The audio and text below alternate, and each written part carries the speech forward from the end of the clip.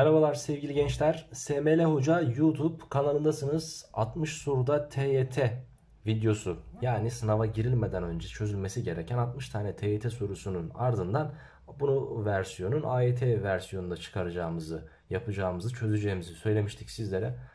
E, fakat bazı sağlık problemlerinden e, kaynaklı bu video biraz gecikti ama yine de sınava 6 gün kala, 7 gün kala bu videoyu sizlerle paylaşacağım sevgili gençler.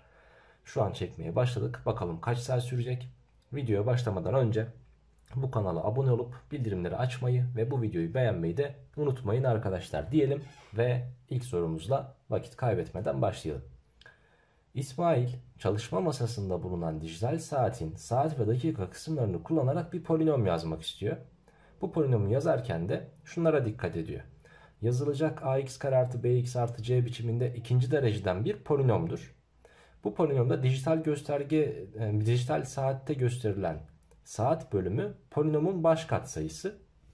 B sayısı dakika bölümünde görünen sayı, C ise dakika bölümündeki sayıdan saat bölümündeki sayı çıkarılarak elde edilecektir. Örnek olarak şekilde gösterilen saat 10'u 11 geçiyor. Saat kısmı 10 ve dakika kısmı 11 olmak üzere baş sayımız 10 oluyor saat kısmı.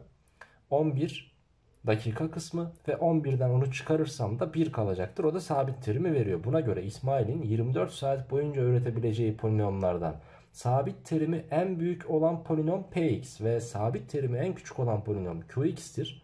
Buna göre p1 eksi q1 farkı kaçtır diye soruluyor. Şimdi sabit terimi en büyük olan polinomu bir elde edelim biz. Sabit terim şurasıydı ve buranın büyük olması için ben e, ax kare ikinci dereceden de denklem yazacağım ya. Şimdi 0 0 59'u seçmek mantıklı ama e, şu sırf 0 a olduğu için 0x kareden kaynaklı ikinci dereceden olmayacaktır. Dolayısıyla ben 0 1 59'u seçmek zorundayım sevgili gençler. Buradan ge e, gelecek olan px polinomu ise şudur. x kare artı 59x artı 59'dan 1'i çıkardım 58'dir. Sabit terimi en büyük olan polinom budur. Peki sabit terimi en küçük olan polinomu nasıl yapacağım? Bu sefer de şu kısmı olabildiğince yüksek alacağım ki maksimum 23 olur dijital saatlerde. 23 sağ tarafı ise en küçük yapacağım yani 0 0 böylelikle 23x kare artı artı 0x yani 0 artı 0'dan 23 çıkaracaksın eksi 23 ki bu da bizim qx polinomumuzmuş diyeceğiz sevgili gençler. Peki P1'den Q1'i çıkar demiş. P1 1 artı 59 artı 58 yapar ki bu iki tane 59'dur. 2 tane 59 118'dir arkadaşlar. Bir de Q1'i bulalım. Q1 dediğimiz ise 23 eksi 23'tür yani 0'dır. Yani diyor ki bize 118'den 0'ı çıkaracaksın. Cevap ne olur? 118 yani cevabımız C seçeneğiydi sevgili gençler. Dedik ve geçtik ikinci sayfamızdaki ikinci sorumuza. Yukarıdaki tablo 25 tane hücreden oluşmuş. Tablodaki A ve B yerine yazılacak sayılar bu hücrelere konmuş olan boyalı hücre sayısını göstermektedir. Boyalı hücrelerin birbiriyle ortak kenarı olmadığı bilindiğine göre A artı B toplamı hangisi olamaz diye sorulmuş bize. Şimdi ben e, mayın tarlası diye de bir Microsoft oyunu vardı hatırlıyorsanız. E, o oyuna göre düşünülmüş bir soru olabilir. Şimdi A, A gördüğümüz yerde mesela 3 yazıyorsa arkadaşlar bunun etrafında 3 tane e, boyalı kare bulunacakmış. Yani 1, 2, 3 gibi olabilir ama birbirine komşulu da olmayacak bunların. Mecburen şu şekilde yapabiliriz mesela. 3 tane boyalı karemiz olacakmış. Peki A ve B herhangi bir sayı hangisi olamaz diyor. Şimdi gençler yapılabilecek maksimum boyamayı yapalım biz. Mesela şunu şu şekilde boyarsam bunu bu şekilde boyadım bunu bu şekilde boyadım bir tane de şurayı boyarım başka bir yeri boyayamam artık A'nın etrafında B içinse komşulu olmayacak ya burayı boyamam. Şurayı şurayı şurayı ve şurayı boyayabilirim. Toplamda A 4 olmuş oldu B de 4 olmuş oldu. Yani maksimumunu bulduk biz. A artı B maksimum 8 olur. O halde ne olamaz? 9 olamaz diyebiliriz sevgili gençler. Dedik ve 3'e geçtik. Yukarıdaki tab verilen tablo 1'de beyaz olan kısımlara birden 10'a kadar olan pozitif tam sayıların tamamı örnek tablodaki gibi rastgele yazılacaktır sağ taraftaki gibi. Bu şekilde tüm tablolar oluşturuluyor.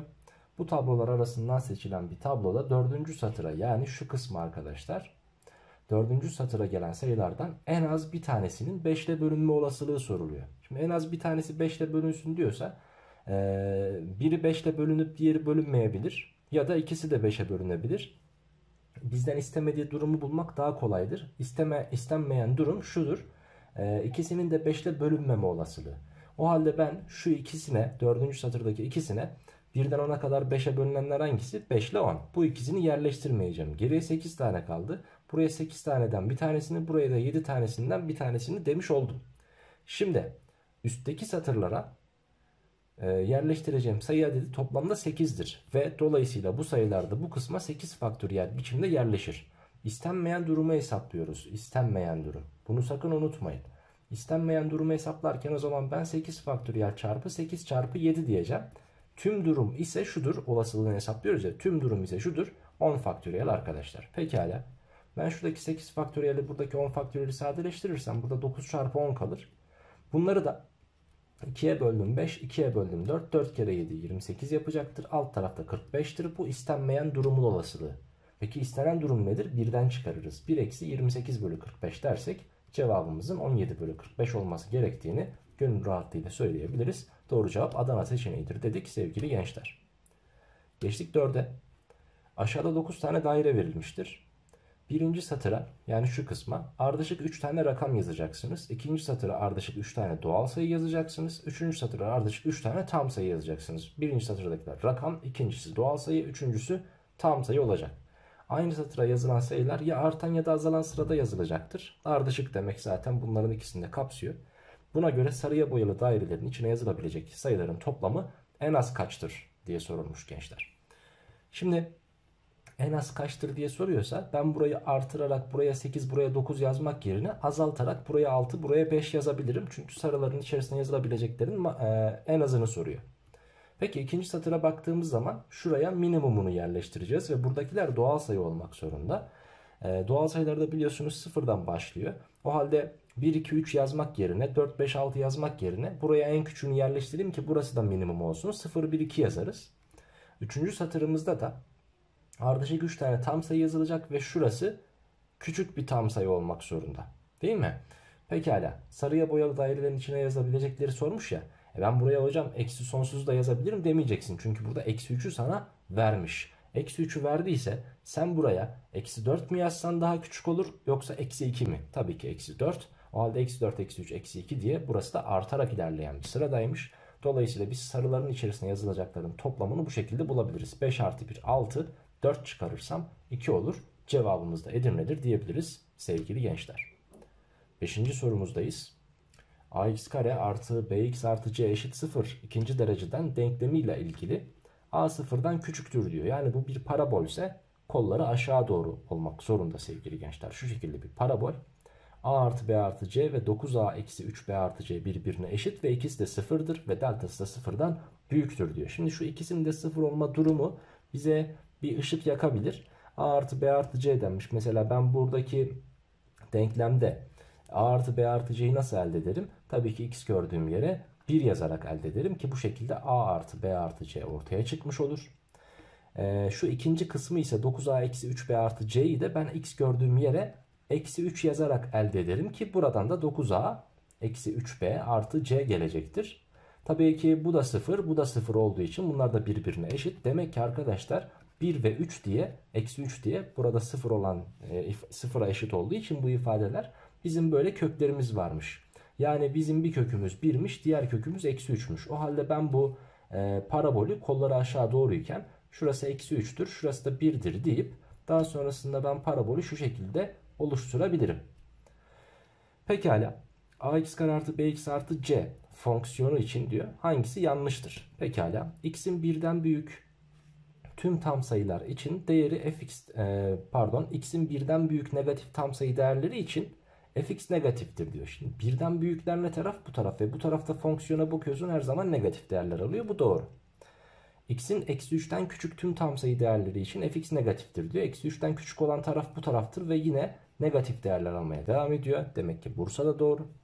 f eksi 1'den f0'ı çıkarırsak 0 kalır diyor. Bir kere f eksi 1 neresi arkadaşlar? Şurada bir yerdeki tepe noktasıdır bu. Alabileceği maksimum değerdir. Ben zaten alın, alınabilecek maksimum değerden fonksiyon üzerindeki herhangi bir noktayı çıkardığım zaman sonuç sıfırdan büyük olacaktır. Ne demiştik? Çünkü zaten burası maksimum değer. f eksi 2 artı f eksi 1 artı f0 f1 artı f2 artı f3'ten daha büyüktür denmiş. Eksi 2 şurada. Eksi 1 burada. 0 da burada arkadaşlar. Bunların tüm değerleri pozitiftir. F1 sıfırdır. F2 negatiftir ve F3 negatiftir. Şunların toplamı negatif, bunların toplamı pozitif olduğu için pozitif negatiften her daim büyüktür. Edinme seçeneğine baktığımız zaman ise f-7 artı f-6 eksi f3 denmiş. f-7 bu tarafta ve negatif. f-6 o da bu tarafta ve negatif. İkisinin toplamı negatiftir. Negatif bir sayıdan f3'ü çıkar diyor. f3'e bakıyorsun. f3 buralarda bir yerde ve o da negatif. Şimdi ben eksiden eksi çıktığı zaman kesinlikle negatif mi kesinlikle pozitif mi söyleyemem. Ama ve lakin şu yorumu yapabiliriz. Mesela burada f eksi 7 eksi 3'e 4 birim uzaklıkta eksi 7 burada ve eksi 6'da eksi 3'e 3 birim uzaklıkta. F3'e bakıyorsun 1'e 2 birim uzaklıkta. Şimdi hangisi daha fazla küçülmüştür? Tabii ki eksi 6 ile eksi 7 ve bunların toplamı sayısal olarak şundan daima daha büyük olacaktır. Bakın sayısal olarak yani mutlak değerci. O halde burası mutlak değerce daha büyükse eksiden eksiyi çıkardığımız zaman mecburen e, negatif olacaktır. Daha küçükse özür diliyorum. E, zaten daha küçükse dedim e, diye düşünüyorum. Daha küçükse pozitif e, negatif olacaktır. Dolayısıyla burada pozitif demiş. Demek ki cevabımız ne olacakmış? Edirne seçeneği olacakmış diyeceğiz sevgili arkadaşlar. Geçtik 6'ya. Üzerinde reaksiyon yazan led ışıklı bir tabelanın önce sırasıyla tek numaralı lambaları yanıp sönmektedir. Tek numaraların yanıp sönme işlemi bittikten sonra ise baştan itibaren bu kez çift numaralar sırasıyla yanıp sönmekte. Buna göre 248. sırada yanan lamba aşağıdakilerden hangisidir? Şimdi önce tekler sonra çiftler yanıyor. Ki önce teklerin yanmasını beklersek sonra çiftlerin yanmasını beklersek bütün numaralar zaten yanacaktır. Yani 9'da 1 kendini tekrar ediyor bu led lamba. O halde sevgili gençler ben 248'in 9'da bölümünden kalanını bulmak zorundayım ki bunu da nasıl buluruz rakamlar toplamıyla. 8 4 daha 12 2 daha 14 14'ün 9'da bölümünden kalan da 5'tir.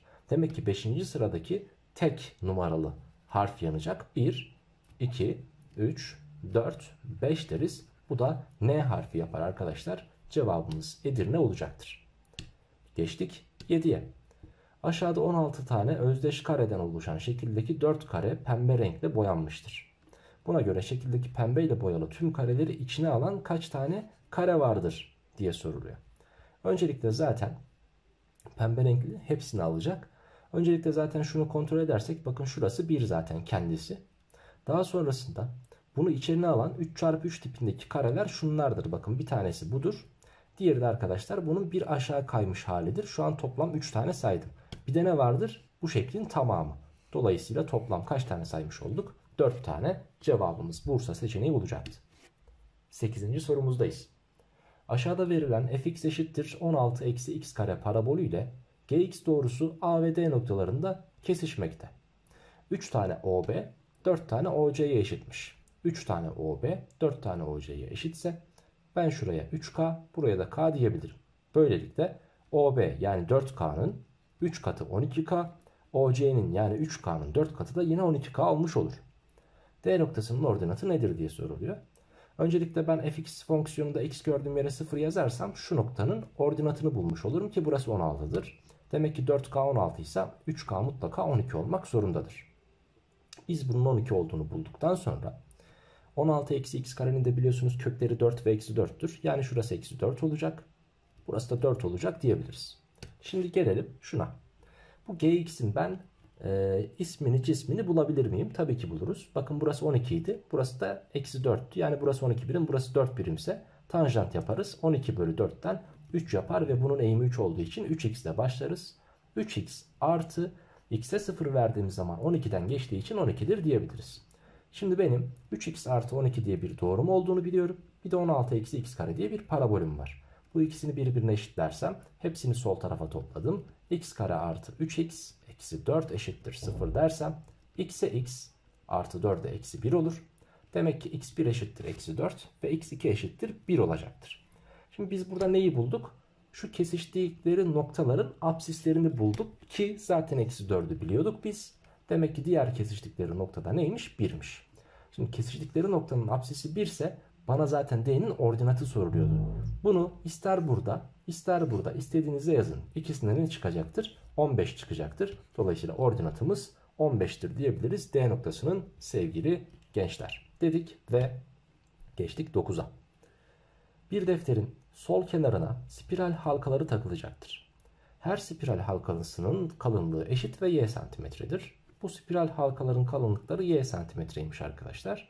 Defterin üst ve alt kısmından 0.5'er santimetre boşluk bırakılmıştır şekilde de görüldüğü gibi.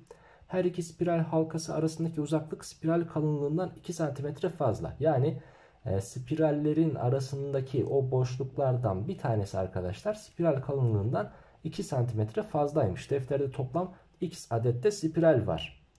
Defterin boyu kaç santimetredir diye soruluyor. Şimdi x tane spiral varsa bu x tane spiralin arasında x eksi bir tane boşluk vardır. Ki bu her bir boşluğun arası da y artı 2 santimetreydi. Yani x eksi 1 çarpı y artı 2 diyebiliriz biz spiral halkalarının arasındaki boşlukların toplamına. Bir tane alttan 0.5 bir tane de üstten 0.5 boşluk olduğu için artı 1 diyeceğim. Artı bir de x tane spiralin her birinin kalınlığı y idi. x, artı, x çarpı y diyeceğim.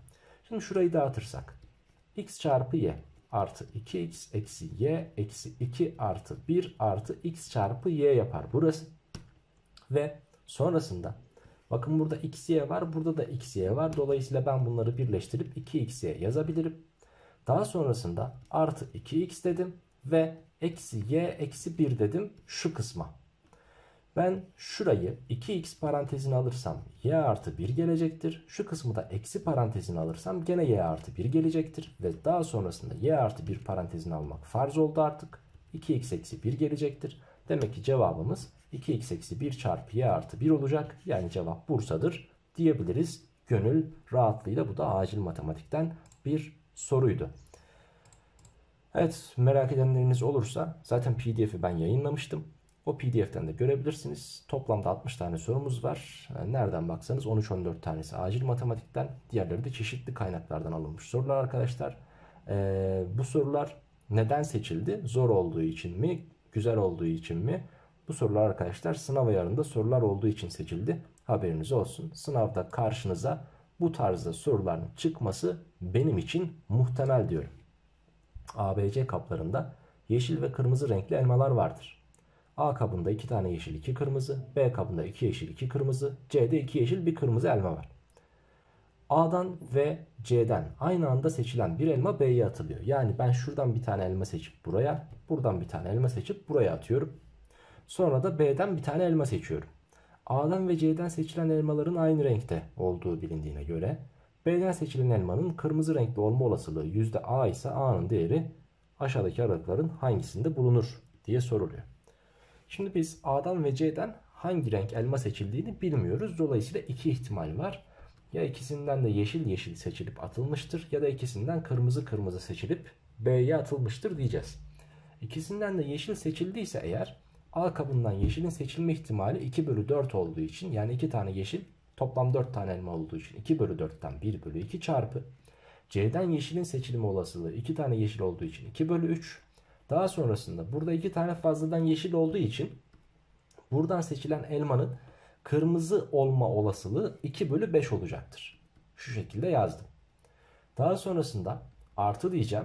Neden? Çünkü diğer ihtimali geçiyorum. Buradan kırmızı seçilme olasılığı gene 1 bölü 2'dir. Buradan kırmızı seçilme olasılığı 1 bölü 3'tür. Çarpı bu sefer burada yeşiller değil de kırmızı kırmızı olduğu için arkadaşlar 4 tane de kırmızı var. 4 bölü 5'tir diyebiliriz. Şimdi burada benim paydam 30'dur arkadaşlar. Yan tarafta da 30 olduğu için tek payda da yazdım. Burası 4, burası 4 toplam 8 bölü 30 olmuş oldu. Şimdi benim ihtimalim bu 8 bölü 30. Peki ben bunu, peki ben bunu yüzdeye nasıl çevireceğim bu 8 bölü 30'u? Onu da şu şekilde halledebiliriz.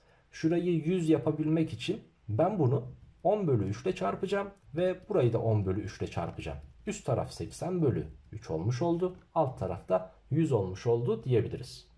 Şimdi bunu nasıl okurum? Yüzde 80 bölü 3 diye okuyacağım. Peki bu 80 bölü 3 zaten yüzde A diyoruz ya A bölü 100 demek ki A kaçmış 80 bölü 100 80 bölü 3'müş. Peki bu 80 bölü 3 hangi iki sayı arasındadır onu bulacağız. 81 bölü 3 olmuş olsaydı 27 olurdu. Değil mi? Ki 3 kere 26'ında sen 78 olduğunu biliyorsun. 78 bölü 3 olmuş olsaydı da 26 olurdu. Demek ki 80 bölü 3 26 ile 27 arasında bir sayıdır. Dolayısıyla cevabımız da Denizli seçeneğidir diyebiliriz sevgili arkadaşlar. Dedik 11'e geçtik. Üst tarafta bir bilgi verilmiş. O bilgide diyor ki sabit polinomdan farklı iki ya da daha çok polinomun her birini tam bölebilen en büyük dereceli polinoma bu polinomların en büyük ortak böleni yani EBOB'u denir. Polinomlarda da EBOB var yani. A ve B sıfırdan farklı birer reel sayıdır. Px, x küp eksi x kare eksi 2x ve qx de 2x üzeri 4 artı ax küp artı x kare eksi 13x artı b polinomları verilmiş. Px ve qx'in EBOB'ları da x eksi r1 ile x eksi r2'nin çarpımıymış. A sayısının değeri nedir diye soruluyor. Şimdi ben bu px polinomunu çarpanlarına ayıracağım.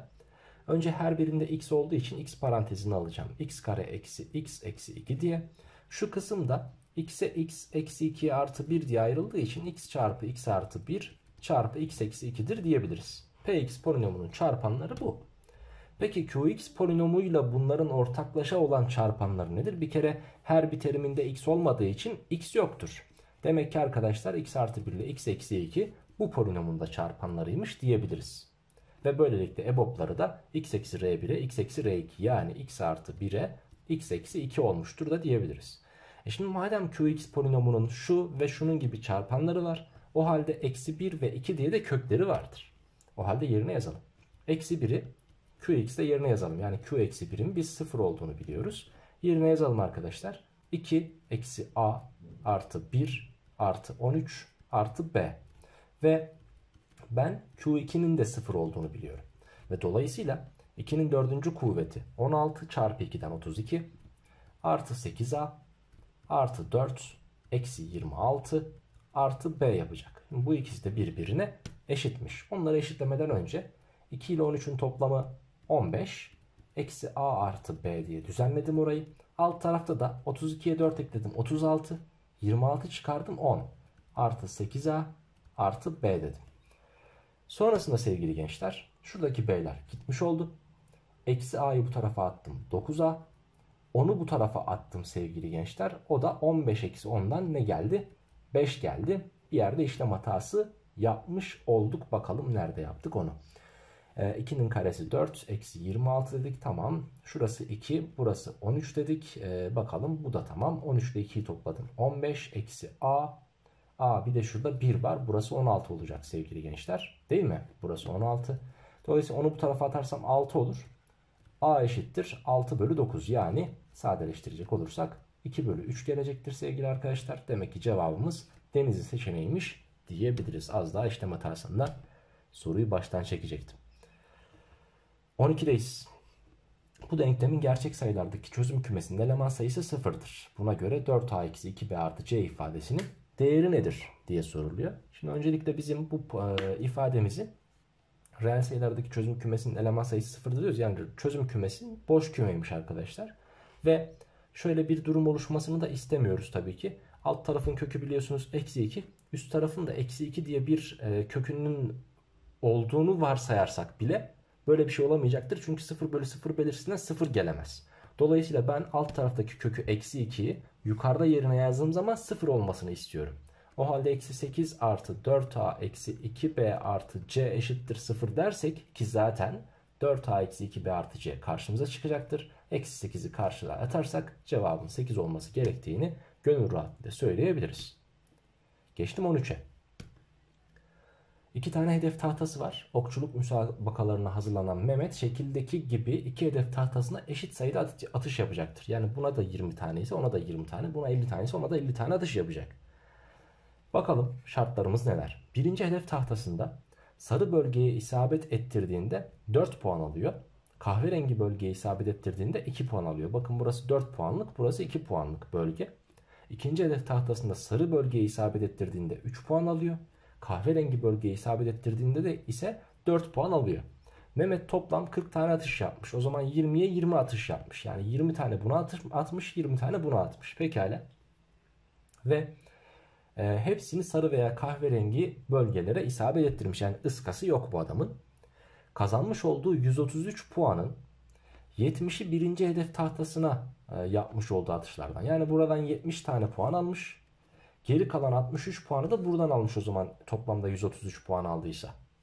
birinci hedef tahtasına yaptığı atış sayısı ikinci hedef tahtasına yaptığı atış sayısına eşit olduğuna göre Mehmet'in yapmış olduğu tüm atışların yüzde kaçı kahverengi bölgeye isabet etmiştir diye soruluyor bize. Şimdi ben diyorum ki buraya attığı sayı x olsun. Şurayı vurduğu sayı da y olsun. Toplamda x artı y'nin ben zaten 20 olduğunu biliyorum. Ve buraya attığı sayı a olsun. Buraya attığı sayı b olsun. a artı b'nin de ben 20 olduğunu biliyorum. Peki bu x tane dörtlük bölgeyi vurduysa 4x puan kazanmıştır derim. Y tane ikilik bölgeyi vurduysa da 2y puan kazanmıştır derim ve bunların toplamı 70 olacaktır. Sonrasında arkadaşlar sonrasında şunları doğru yaptık değil mi? Ee, bir bakalım tekrar etmem gerekiyor şurayı. Toplam 40 atış yapmış. Tamam tamam tamam tamam tamam. Birini tamam, ikinci tamam tamam. Ha şurada. Sarı bölgeye isabet edene 4 puan alıyor. Ve diğerine de 2 puan alıyor. Tamam güzel. Şimdi ben x artı y'nin 20 olduğunu biliyorum ya. Peki 2x artı 2y nedir? Bana söyleyebilir misiniz? Tabii ki 40'tır. Gelin üsttekinden alttakini çıkaralım. Burada 2x kalır ve 70'ten 40'ı çıkardığımızda 30 yapar. x kaçtır arkadaşlar? 15'tir. Yani şurası 15 taneymiş. 15 tane sarı bölgeyi vurmuş ve 5 tane de kahverengi bölgeyi vurmuş diyebiliriz. Şimdi peki şuraya bakalım. A tane sarı bölgeyi vurmuş. 3'er puanlık olan sarı bölgeyi vurmuş. Dolayısıyla 3A puan almıştır buradan. Ve B tane de dörtlük bölgeyi vurduğuna göre 4B puan buradan almış. Toplam 63 puana erişmiş. Ve ben şunu biliyorum. A artı B 20 ise 3A artı 3B kaçtır arkadaşlar? Tabii ki 3 katıdır 60'tır. Üsttekinden alttakini çıkardığınız takdirde B eşittir. Kaç gelecektir? 3 gelecektir. Değil mi? Demek ki buraya da 3 tane atış yapmış. Pekala. Toplamda kahverengi bölgeyi vurduğu yerler 5 tane artı 3 taneden 8 tanedir. Yani bu adam 40 tane atışın 8'ini kahverengiye isabet ettirmiş. 40'ta 8 yani 5'te 1 ise yüzde kaçıdır arkadaşlar? 20'sidir. Dolayısıyla cevabımız da C seçeneğidir diyebiliriz. Geçtik 14. sorumuza. Z'nin eşleniği Z karmaşık sayısının eşleniği olmak üzere. Z'yi vermiş bize. Şimdi eksi 49'un karekökü nedir? 7i'dir. Eksi 8'in küp kökü de eksi 2'dir. Demek ki Z karmaşık sayısı bu. Peki Z'nin eşleniği nedir arkadaşlar? Eksi 7i eksi 2'dir. Buna göre Z'nin reel kısmı yani eksi 2 ve e, Z'nin eşleniğinin imajiner kısmı yani şu. Bunların toplamı sorulmuş. Eksi 2 ile eksi 7'nin toplamı kaçtır? Eksi 9'dur. Yani cevabımız Adana seçeneğidir diyebiliriz sevgili arkadaşlar dedik ve geçtik 15'e. F sabit fonksiyon G artan H'da azalan fonksiyon olmak üzere F8'den F12'yi çıkarınca 7M artı 10 bulmuş. Bakın F sabit fonksiyon değil miydi? Yani Fx eşittir C gibi bir sayıymış. E bu da C'dir bu da C'dir. C'den C çıkarsa 0 kalır. Demek ki 7M artı 10 sıfırmış. Yani 7M artı 10 eşittir 0 ise M eşittir eksi 10 bölü 7'dir diyebiliriz. Bu 1. M cepte dursun. G5 eksi G eksi 1. G nasıl fonksiyondu? Artan fonksiyondu. Şimdi artan fonksiyonsa G5 G eksi 1'den daha büyüktür. Ve bu kısım pozitif olmak zorunda. Yani 2n eksi 3 sıfırdan büyük olmak zorunda. 2n eksi 3 sıfırdan büyükse n 3 bölü 2'den büyük bir sayıdır. Bu da cepte dursun. işe yarayabilir. Geçelim h'a. h azalan fonksiyonmuş. Dolayısıyla h6 h eksi 6'dan daha küçüktür. Ve dolayısıyla burası da negatif olmak zorunda. Küçükten büyüğü çıkarıyoruz çünkü. E o halde de 3p artı 8 küçüktür 0 dersek p küçüktür eksi 8 bölü 3 olacaktır diyebiliriz. Şimdi şu kısım yaklaşık olarak eksi 1 virgül küsurat bir sayı. Bu kısımda yaklaşık olarak eksi 2 virgül küsurat bir sayı. 2 virgül 66 gibi bir şey. Şimdi bunları sıralayın diyor. En küçüğümüz eksi 2'den daha küçük olduğu için p'dir. Dolayısıyla p küçüktür dedim. Sonrasında negatif olup da ondan daha büyük olan m var. Ve pozitif olan sayımız n var. Demek ki pm ne olacak bizim sıralamamız. Yani cevabımız Adana seçeneğidir diyebiliriz gönül rahatlığıyla. Ve geçiyoruz arkadaşlar 16. sorumuza. Px eşittir a çarpı x üzeri b artı b çarpı x üzeri c artı c çarpı x üzeri a polinomu veriliyor. a küçük b küçük c olmak üzere a, b, c ardışık doğal sayılarmış. Bakın burası bizim için mühim. Ee, neden? Çünkü gayet güzel bir e, tiyo veriyor bize soruyu çözmek için. Px polinomunun x eksi 1 ile bölümünden kalan da 9'dur. İşte ikinci tiyo da burada Bu efsane oldu bizim için çünkü P1'in 9 olduğunu vermiş. Ve ben biri götürüp yerine yazdığım zaman A artı B artı C'nin de mecburen 9 olması gerektiğini isterim. Ve buradan da şunu artık öngörebiliyoruz. Bunlar ardışık olacaklar. Toplamda 9 olacak. Doğal sayı bunlar. 2, e, 3 ve 2, 3 ve 4'tür. Toplamları 9 yapacaktır sevgili gençler. Demek ki A2'ymiş, B3 ve C 4'müş. O halde ben bu Px polinomunun artık neye benzediğini net olarak görebiliyorum. A2 ise 2 çarpı x üzeri b3'tü biliyorsunuz. 2x küp artı b3'tü. 3 çarpı x üzeri 4 biliyorsunuz c4'tü. Artı c4 olduğuna göre 4 çarpı x üzeri a2 idi. x kare olacaktır. Diyor ki bu px polinomunun x artı 1 ile bölümünden kalan kaçtır? Yani p eksi 1 soruluyor bize. O halde yerine yazabiliriz. Eksi 2 artı 3 artı 4 deriz. 4 artı 3 7 yapar. 2 çıkarırsak doğru cevabın 5 olması gerektiğini gönül rahatlığıyla söyleyebiliriz sevgili gençler. 16. sorumuzun cevabı da Edirne seçeneğiydi dedik ve diğer sorumuza geçtik. 17. sorumuzdayız. Geçemedik, geçtik. T yıl olmak üzere bir çocuğun 2 ile 10 yaşları ve bu yaşlar arasındaki kilosunun zamana bağlı değişim fonksiyonu bu şekilde verilmiştir diyor. Buna göre çocuğun kilosunun bu zaman aralığın bu zaman aralığında alabileceği en küçük ve en büyük değerlerinin toplamı nedir? Şimdi burada biraz fonksiyon bilgisine ihtiyacımız olacak. Biraz da parabol bilgisine ihtiyacımız olacak. Şimdi öncelikle bizim fonksiyonumuzun grafiğinin aşağı yukarı şekilde gösterebilmek için şöyle bir xy kartezyen koordinat sistemi çizelim.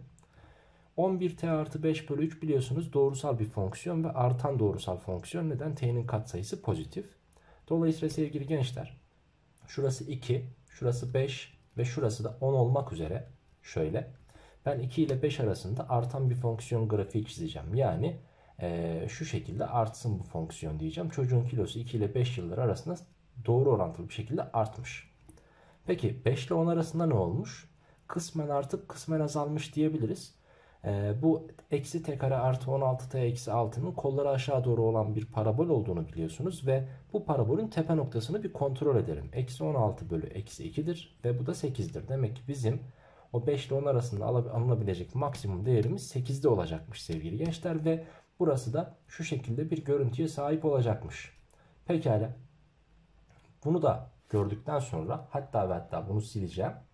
Maksimum değerimiz eksi 8'de demiştik biliyorsunuz. Eksi, e, artı 8'de demiştik. 8 için sevgili gençler biraz yukarı tırmandıracağım. Şurada maksimum değerini alsın isteyeceğim.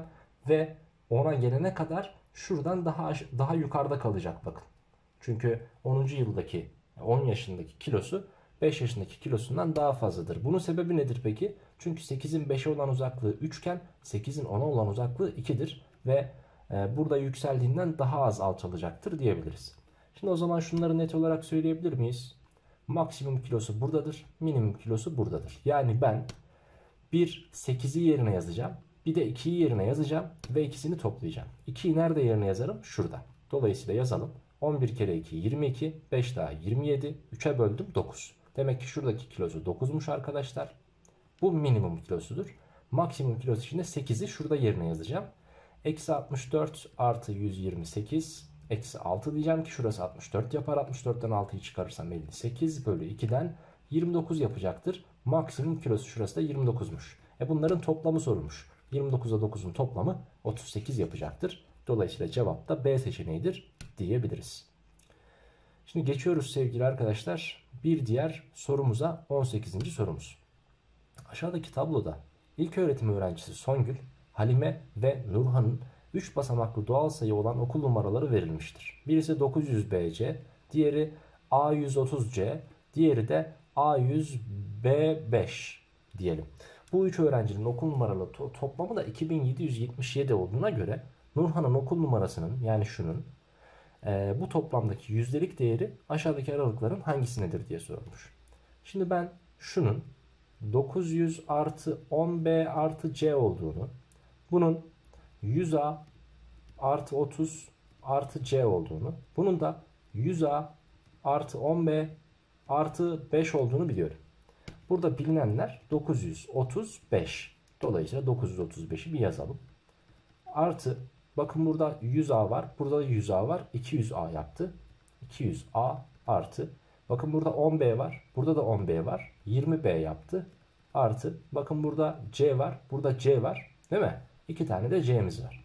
Ben burayı 935 artı 2 parantezinde 100A artı 10B artı C eşittir. Bunların toplamını da 2777 yaptığını da biliyormuşuz üstelik. Şimdi şuradaki 100A artı 10B artı C dediğimiz sayı aslında ABC 3 basamaklı sayısına tekabül etmiyor mu arkadaşlar? Ediyor. Ben bu 935'i de karşıya atarsam 2777'den diyor 2777'den 935'i çıkaracağız diyor. E çıkaralım. 7 eksi 5 2 7 eksi 3 4 17 eksi 9 8 ve 1 1849 yapıyormuş 42 yapıyormuş sevgili gençler. Şimdi peki her iki tarafı 2'ye bölersem bunu böldüm bunu böldüm ne kalır ABC için 921 kalır. Demek ki ABC 921'miş. Şimdi soru şu. Bu 921'in toplamdaki yani 2777'deki yüzdelik dilimi nedir diye soruluyor. Bir kere ben bunu 3 ile çarptığım zaman bakın 3 ile çarptığım zaman 921'i 2700 artı 63 mu yapar? Yani 2763 yapar. Yani yaklaşık olarak bu olur. E ben bunu 3 ile çarptığım zaman buluyor. Demek ki %33 küsür bir şeymiş aslında. %33 küsür bir şeymiş. O halde sevgili gençler bu %33 küsür şey hangi şıkların hangi aralığındadır? Tabii ki C'dedir. 18. sorumuzun cevabı da böylelikle C yapar diyeceğiz. Bu da biraz pratik kullandık. Yani şunu da diyebilirdik. 2777'de 921 ise yüzde kaçtır da diyebilirdik. Ama biraz pratik yaptık. 3 ile çarpıldığı zaman yaklaşık olarak verdiğini gördüğümüze göre demek ki 921 2777'nin yaklaşık %33 küsürüdür dedik. Ve bu şekilde bir çözüme ulaştık. 19. sorudayız. A, B ve C boş kümeden farklı birer küme olmak üzere.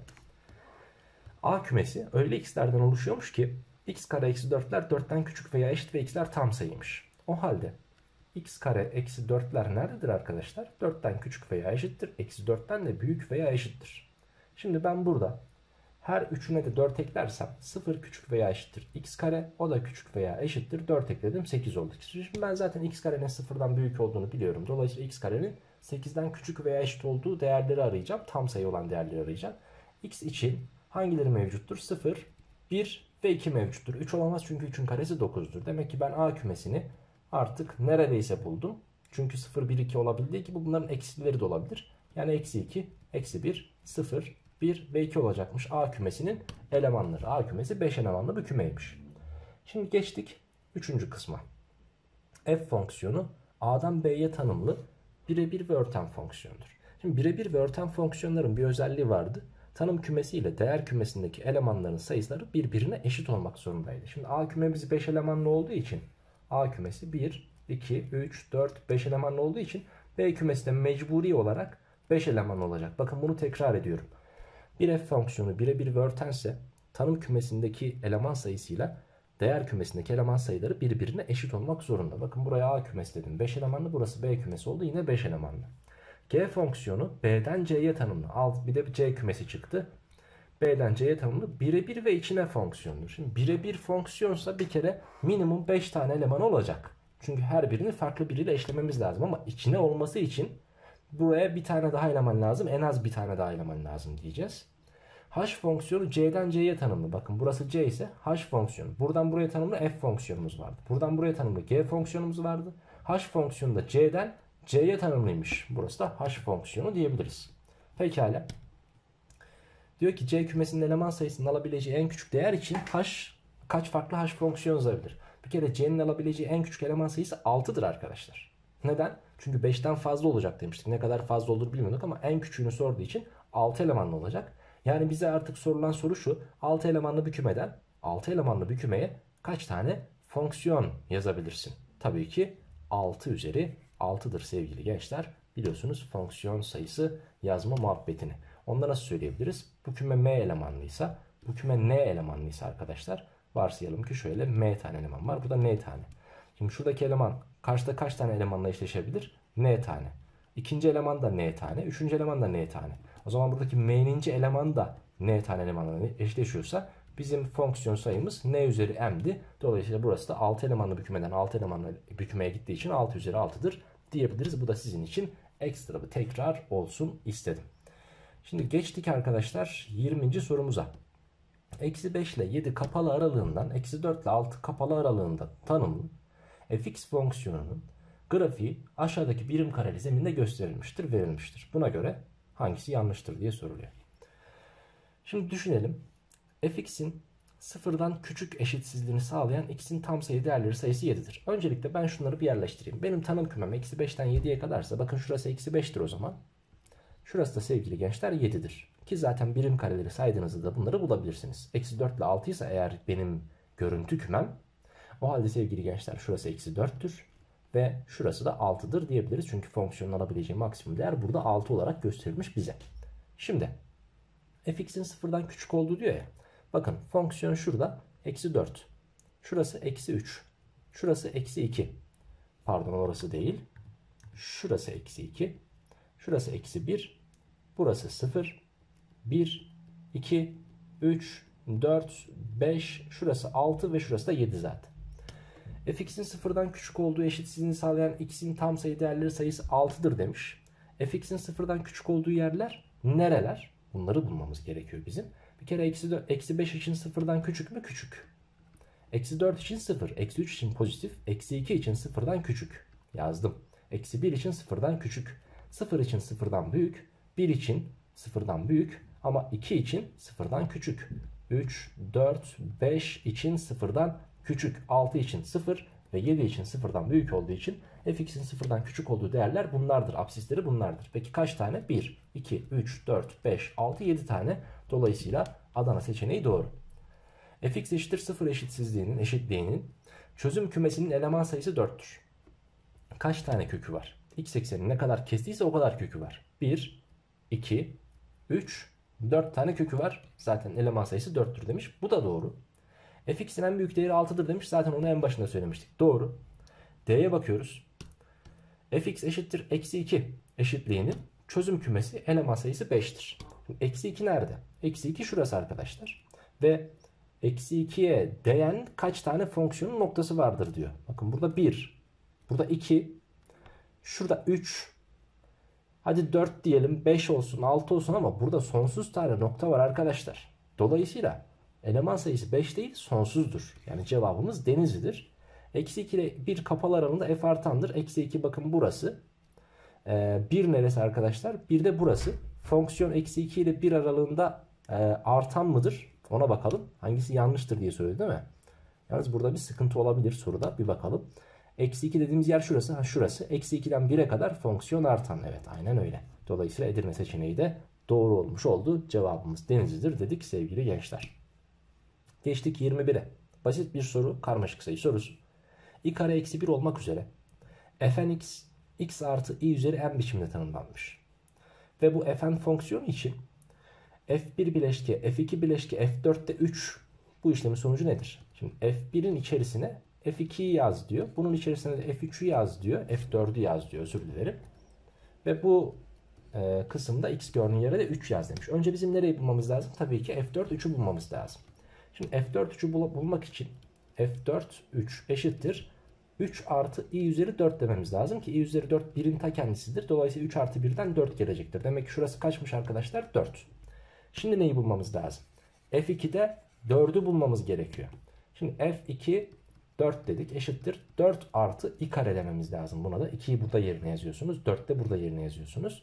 i kare eksi 1'di biliyorsunuz. 4 eksi 1'den 3 gelir burası. Demek ki şurası 3'müş. Şimdi bize ne lazım? Tabii ki F1'de 3 lazım. F1 3 dedim. Eşittir.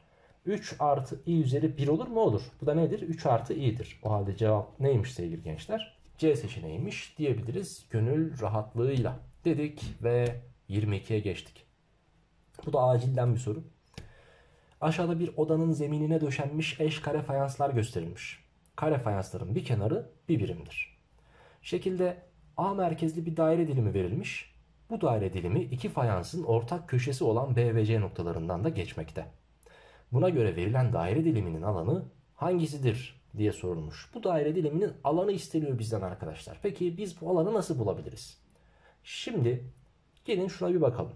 Öncelikle arkadaşlar e, biz bu daire diliminin alanı bulabilmek için daire dilimlerin alanı nasıl bulunuyordu? Şöyle yaparsak. Şurası alfa ise e, pi r kare pi çarpı r kare bölü şurası alfa ise 360 bölü alfa diyorduk. Doğru mu? Doğru.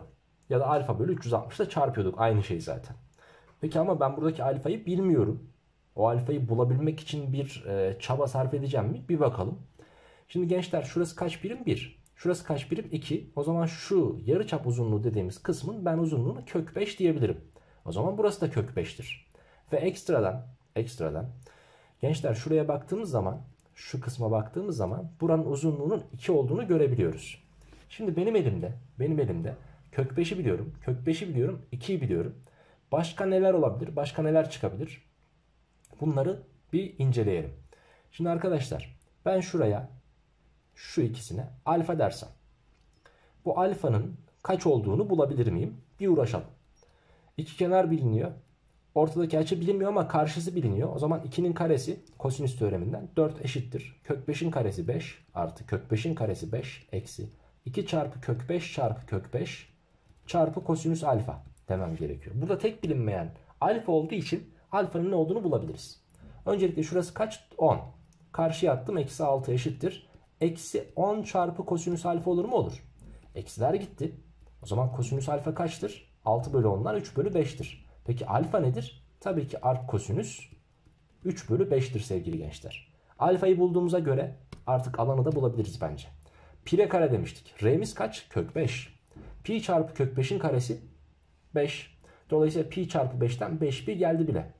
5 pi bizim şuradaki şu dairemizin alanı. Peki bu dairenin alanı 5 pi ise şuradaki daire diliminin alanı nasıl bulunuruz? Onu da şu şekilde alfanın ben ark kosinüs 3 bölü 5 radyan olduğunu biliyorum. Bunu eğer 2 pi'ye bölersem değil mi? 2 pi'ye bölersem o daire diliminin alanı bulmuş olurum. Bakın burada pi'ler gitti mi? Gitti. Geriye ne kaldı? 5 bölü 2 kaldı. Çarpı bir de ark kosinüs. Ark kosinüs 3 bölü 5 kalmış oldu. Yani cevabımız Adana seçeneğinde verilmiştir diye gönül rahatlığıyla söyleyebiliriz. Bence çok ama çok güzel bir tadında bir trigonometri sorusuydu dedim. 23'teyiz. Bir logaritma sorusu. Ee, şu son 10 günlük dönemde de sizden gelen yorumları okudum. Logaritma ile alakalı bu şekilde sorular da çözmem gerektiğini söylemiştiniz. Buyurun size bu şekilde soru. Ee, şimdi 245 ve 49 sayısı var elimizde. Ln 5'in P olduğunu, Ln 7'nin de Q olduğu verilmiş. Ben bu 5 ve 7'lerden 49 ve 245 üretmeye çalışacağım. Şöyle diyelim. Ee, Ln 5. Tamam. Ln 5. Artı Ln 7. Artı Ln 7. Bakın bu toplam Ln 245 yapacaktır işlerini çarptığımız takdirde. Ln 7 ile Ln 7'nin toplamı da tabii ki Ln 49'dur. Peki ben bu ikisini oranlarsam elime ne geçer? Tabanı 49 olan, içi ise 245 olan bir logaritmik ifade geçer. Logaritmik sayı geçer. Şimdi şurada topladım. Bunu topladım ve oranladım. Gençler ln5p idi ve şunların ikisinin toplamı 2q yapar. Bakın burası da 2q'ydu. Demek ki bizim cevabımız ne olacak? p artı 2q bölü 2q olacak. Şıklarda böyle bir şey yok. Ben bunu p bölü 2q artı 2q bölü 2q'dan 1 yazarsam 1 artı p bölü 2q yani cevabın Ceyhan seçeneği olması gerektiğini gönül rahatlığıyla söyleyebilirim. 24'teyiz. Logaritma kök x tabanında 27 eksi logaritma 3 tabanında x eşittir 5 bu denklemin kökler çarpımı sorulmuş. Şimdi ben bunu logaritma x üzeri 1 bölü 2 tabanında 3'ün küpü olarak yazarım. Eksi logaritma 3 tabanında x eşittir 5 derim. Sonrasında şu 1 bölü 2'yi başa 2 diye atarım. 3'ü de başa 3 diye atarsam çarpı logaritma x tabanında 3 gelmiş olur. Eksi logaritma 3 tabanında x eşittir 5 olmuş olur. Şimdi gelin şuraya ben a diyeyim. O halde bu ne olur? 1 bölü a olur. O halde yazıyorum yeni ifademi. 6a eksi 1 bölü a eşittir 5. Buradan 6a kare eksi 1 eşittir 5a gelir. Bunu da bu tarafa gönderirsem 6a kare eksi 5a eksi 1 eşittir 0 olur. Ben bu ifadeyi 6a'ya a. Burayı da eksi 1'e artı 1 diye açarsam çarpmaz çarpalım. Eksi 6a artı a daha eksi 5a yapar. Dolayısıyla a sayımız ya eksi 1 bölü 6'dır ya da a sayımız 1'dir. a dediğimiz ifade neydi? Logaritma x tabanında 3'tü. logaritma x tabanında 3 eşittir 1 bölü 6 ya da logaritma x tabanında 3 eşittir 1 diyeceğiz. Buradan x'in ne geldiği zaten açık. 3 gelir. Peki buradan ne gelir? x üzeri 1 bölü 6 eşittir 3 ise x eşittir 3 üzeri 6 gelir sevgili gençler. Şimdi ee, bizim köklerimiz bunlar mıydı? Bir daha bakalım. Eksi 1 bölü 6 idi bakın burası. Eksi 1 bölü 6. Dolayısıyla x üzeri eksi 1 bölü 6. Dolayısıyla x eşittir 3 üzeri eksi 6 olur. Güzel. Köklerimiz bunlar. 3 üzeri eksi 6 ile 3. İşte bunların çarpımı sormuş. Bu ikisini çarparsam 3 üzeri eksi 5 yapar. Dolayısıyla cevabımız da denizli seçeneği olmuş olur sevgili gençler. Dedik. Geçtik 25'e. fx logaritma 2 tabanında x ve gx'de x kare eksi 2x bu fonksiyonlar verilmiş. a sıfırdan büyük olmak üzere f bileşke g2a 3'tür. Buna göre hangisi doğrudur diye sorulmuş. Öncelikle şu bize verilen ifade f'in içerisinde g2a'dır. Ve bu da neye eşitmiş? 3. Peki f'i 3 yapan değerin ben g2a olduğunu biliyor muyum? Biliyorum. O halde f'i 3 yapan değer yani fx eşittir 3 diyeceğiz. Bu da logaritma 2 tabanında x'miş. Şunu biliyor muyum? 2 üzeri 3 eşittir x'tir. O halde x kaçmış? 8. 2 üzeri 3'ten 8 geldi. Yani şurasının ne olması gerekiyormuş? 8 olması gerekiyormuş. Yani artık elimde şöyle bir durum var. G2A eşittir 8'miş. Peki G fonksiyonumuz neydi bizim? 2A'yı şurada yerine bir yazalım bakalım hadi. 4A kare eksi 4A eşittir 8 olmasını istiyoruz. Pekala. Hepsini 4'e bölersem A kare eksi A eşittir 2 olur. Ve A kare eksi A eksi 2 eşittir 0 olur. Buradan A'ya A ve burayı da eksi 2 artı 1 diye açarsam A eşittir 2 ve A eşittir eksi 1 olacaktır. Peki A eşittir 2 ve A eşittir eksi 1 de A'nın sıfırdan büyük olması gerektiğini söylememiş miydi bize? Söylemişti. O zaman hangisi olamaz? Tabii ki eksi 1 olamaz. A %100 neymiş? 2'ymiş. Peki A'nın ben %100 2 olduğunu buldum. Hangisi doğrudur demiş. Mesela yerine yazalım. F2 eşittir 0 mı? 2 yerine yazarsam logaritma kitabındakiden 1 gelir. 0 gelmez. Gitti. GA yani G2. G2 sıfırdır arkadaşlar. Burada 3 demiş gitti. FA 1'di. GA sıfırdı. Yani F, F2 1'di. G2 sıfırdı. Toplarsak 1 gelir 2 gelmez. GA yani G2 biz ne demiştik? Sıfırdır. Burada 1 demiş. F2 zaten 1'di. Dolayısıyla cevap Adana'dır. E, pardon Edirne'dir diyebiliriz. Geçtim 26'ya. Tam sayılar kümesinde tanımlı bir f fonksiyonu her x ve y tam sayısı için f içerisinde x artı fx artı y eşittir fx artı fy artı x eşitliğini sağlıyor. F0 1 olduğuna göre f3 kaçtır diye sorulmuş. Şimdi ben burada x ve y gördüğüm yere ikisine de 0'ı versem. f 0 artı f 0 artı 0 x'e de y'ye de 0 verdiysem burası f0 gelir. Burası f0 gelir ve burası da 0 gelir. f0'ın 1 olduğu verilmişti f 0 artı f0 artı 0 f0'dır. f0 1'di. Dolayısıyla burası f1 olur. Eşittir 1 artı 1'den 2 gelir. f1'in 2 olması gerektiğini bulduk. Bu bizim işimize yarar mı? Bakalım yarayacak mı? Şimdi gençler gelin x'e 0 y'ye 1 verelim. Tamam. x'e 0 y'ye 1 verirsem f 0 artı f 0 artı 1 eşittir f0 artı f1 artı 0 olacaktır. Ve buradan x'e 0 vermiştik. O yüzden burası 0 oldu. Burası f1 olur. f1 neydi? 2 idi. Demek ki artık burası f2. f1'den de f2'ye ulaştık. f2 eşittir. f0 1'di. f1 2 idi. Orası da zaten 0'dı. f2'nin de 3 olması gerektiğini bulduk. Bu da tamam. Peki şimdi x'e 0 y'ye 2 verelim.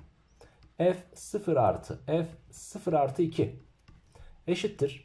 f0 artı f2 artı 0 dedim. Şimdi şurası ne oldu? F0 zaten şurası gitti. f0 artı 2'den f2 f2 kaçtı? 3'tü. Demek ki artık burası f3 oldu. f3'ü buradan bulacağız. f0 1'di. f2 de 3'tü. Ve burada da sıfırımız var. Toplamda kaç yapar? 4. O halde cevabımız e, f2 kaçtı? 3'tü. Şurasına gelmişti f0. Tamam. E, tam sayılar kümesi 4. Ben cevabı 5 diye hatırlıyorum ki şuraya da nokta koymuşum 5 olduğuna dair. Neden cevabı 4 bulduk? Acaba yanlış mı yaptık diye bir kontrol edeyim arkadaşlar. F1 2 tamam. F1 2 tamam onda sıkıntı yok. F2'nin 3 olması gerektiğini bulduk. Orada mı hata yaptık acaba ona bakalım. F0 artı F0 artı 1. Burası ne gelmişti? F1. F1 2 idi. F2 geldi. F0 1'di. Aynen. F1 2 idi. Topladım 3 geldi. F2'nin 3 olduğunu biliyoruz. Şimdi F3'ü bulabilmek için F2'yi kullanacağım. O da 3'tü zaten. X'e 0, Y'ye 2 verdim. F0 artı F2 ki F2 kaçtı? 3'tü. F0 kaçtı? 1'di. O zaman F3 4 gelir. Değil mi? Peki acaba şöyle bir şey yapsak oradan da gelir mi? Bir de öyle deneyelim. Ee, F1 artı şimdi burası 3 gelsin diye 2 olanı kullanacağım. Yani 2 olanı kullanacaksam da F1'i bulmam lazım. F F şurayı silelim. Bekletiyorum sizi kusura bakmayın. F e, burada 1 yapmam için 1 artı 0 diyelim. Şurası ne oldu? F1. F1 2 idi. 2 artı 1'den F3 geldi. Bir de böyle bulalım bakalım. X'e 1 vermiştik F1. Y'ye 0 vermiştik F0. Artı bir de ne geldi? X'e 1 vermiştik 1. F1 kaçtı? 2 idi. F0 kaçtı? 1'di. Artı bir de birimiz var. Kaç yapar? 4 yapar. Demek ki doğruymuş. Cevabımız Bursa oldu sevgili gençler. Ben e, videoyu çekerken yan, ben videoyu çekmeden önce yanlış çözmüş olabilirim soruyu. 27. soru. İnşallah şimdi yanlış çözmemişizdir. 27. sorumuzdayız. M ve N kümelerinin simetrik farkı M üçgen N olarak gösteriliyor ve M fark N ile N fark M'nin birleşimi. Yani simetrik fark diyoruz ya. Şimdi M diyelim. Şuraya da N diyelim arkadaşlar şu kümeye de. Şimdi simetrik farktan kastı M fark N burası. Bir de bunun simetriği N fark M. İşte bunların birleşimine simetrik fark diyoruz. Şimdi A kümesi öyle x'lerden oluşuyormuş ki 3 ile 7 arasındaki tam sayılar. Yani 4, 5 ve 6'dan oluşuyormuş. Peki B kümesi neymiş? Öyle yerlerden oluşuyormuş ki 1 ile 7 arasındaki 1 ile 7 de dahil tam sayılardan oluşuyormuş. 1, 2, 3, 4, 5, 6 ve 7'den oluşuyormuş. C kümesi de arkadaşlar 1, 4 onu zaten vermiş. 1, 4, 5, 6, 7.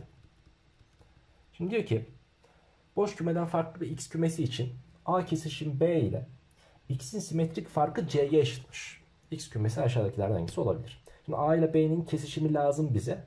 4, 5, 6 yani a'nın ta kendisidir. Yani ben şurayı silip a da yazsam ee, olur sıkıntı yok.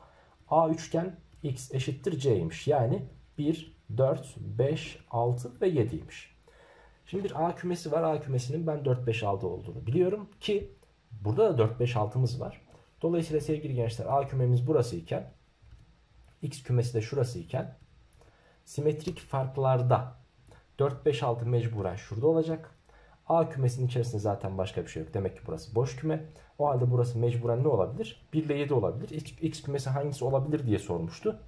X kümesi A seçeneği olabilir sevgili gençler. 1 ile 7'yi burada bulduğumuz için dedik ve geçtik 28. sorumuza. Dikdörtgen veya kare olduğu bilinen bir kartonun kenar uzunlukları metre birimine göre x kare eksi 55 x artı 125 eşit 0 denkleminin kökleridir. Şimdi kökleri bulmaya çalışmayın. Kökler bulamıyoruz. Öncüllerimizi okuduğumuz zaman soruda ne yapmamız gerektiği net bir şekilde anlaşılıyor aslında. Bakın diyor ki kartonun çevresi 110 metredir. Şimdi dikdörtgen varsayalım biz bu e, şeklin ismini. Buraya x1 diyelim. Buraya da x2 diyelim. Ben bunun çevresini nasıl bulurum? 2 tane x1 artı x2 ile bulurum. Şimdi x1 artı x2 dediğimiz denklemden çıkar mı arkadaşlar? Çıkar 55'miş. 2 kere 55 kaç yapar? 110. Öncülde bana ne demiş? 110 metredir çevresi demiş. Doğru. Peki bu kartonun alanı 125 metrekaredir diyor ya. Alanını nasıl bulurum arkadaşlar? x1 çarpı x2 ile bulurum. x1 çarpı x2 ne peki? 125. Bize ne demiş? 125. O zaman bu da doğru. 1-2 olmayan şıkları zaten elediğiniz zaman hiçbir şey kalmıyor geriye. Cevap Ceyhan oluyor. Ama biz 3'e de bakalım. Karton kare şeklindedir. X1 x2'ye eşit olmuş olsaydı eğer deltası 0 olan bir denklemimiz olurdu. Değil mi? Kare olmuş olsaydı x1 x2'ye eşit olacaktı. Ve dolayısıyla diskriminant da 0 olur ama diskriminant 0'dan farklı. Dolayısıyla 3. öncümüz yanlış. Cevap 1 ve 2'dir sevgili arkadaşlar. 29'a geçtik. Yukarıda grafik üzerinde gösterilen taralı ya da boyalı bölgeye ait eşitsizlik sistemi hangisidir diye sorulmuş. Bu tamamen öğreticilik veya hatırlatıcılıkla alakalı bir soru. Sınavda çıkıp çıkmayacağı ile alakalı size bilgi verirsem böyle bir şey sınavda karşınıza zor çıkar. Yani çünkü kolay bir soru ama tamamen hatırlatmak için böyle bir soru e, buraya koydum arkadaşlar. Haberiniz olsun. Şimdi e, bu taranan bölgelerle alakalı mesela yeşil e, yeşile Y1 dersem buna da Y2 dersem Y1'in altında kalan kısım y1'den daha küçük olan yerlerdir. y2'nin üstünde kalan kısım olduğu için sarı bölgede y2'den daha büyük olan yerlerdir diyeceğim. Tamam mı? Buna göre bir çizim yapacağız. Peki bunların çizimleri e, ne doğrultusunda olacak? Mesela eksi 0 verdiğim zaman e, o eğrisel olan kısım birden geçiyormuş. Mesela eğrisel olan burada nedir? Şudur. 4 üzeri 0 eksi 1'den. 4 üzeri eksi 1 1 bölü 4 olur. Bak bu nereden geçmiş? 1'den. Demek ki Adana gitti. Değil.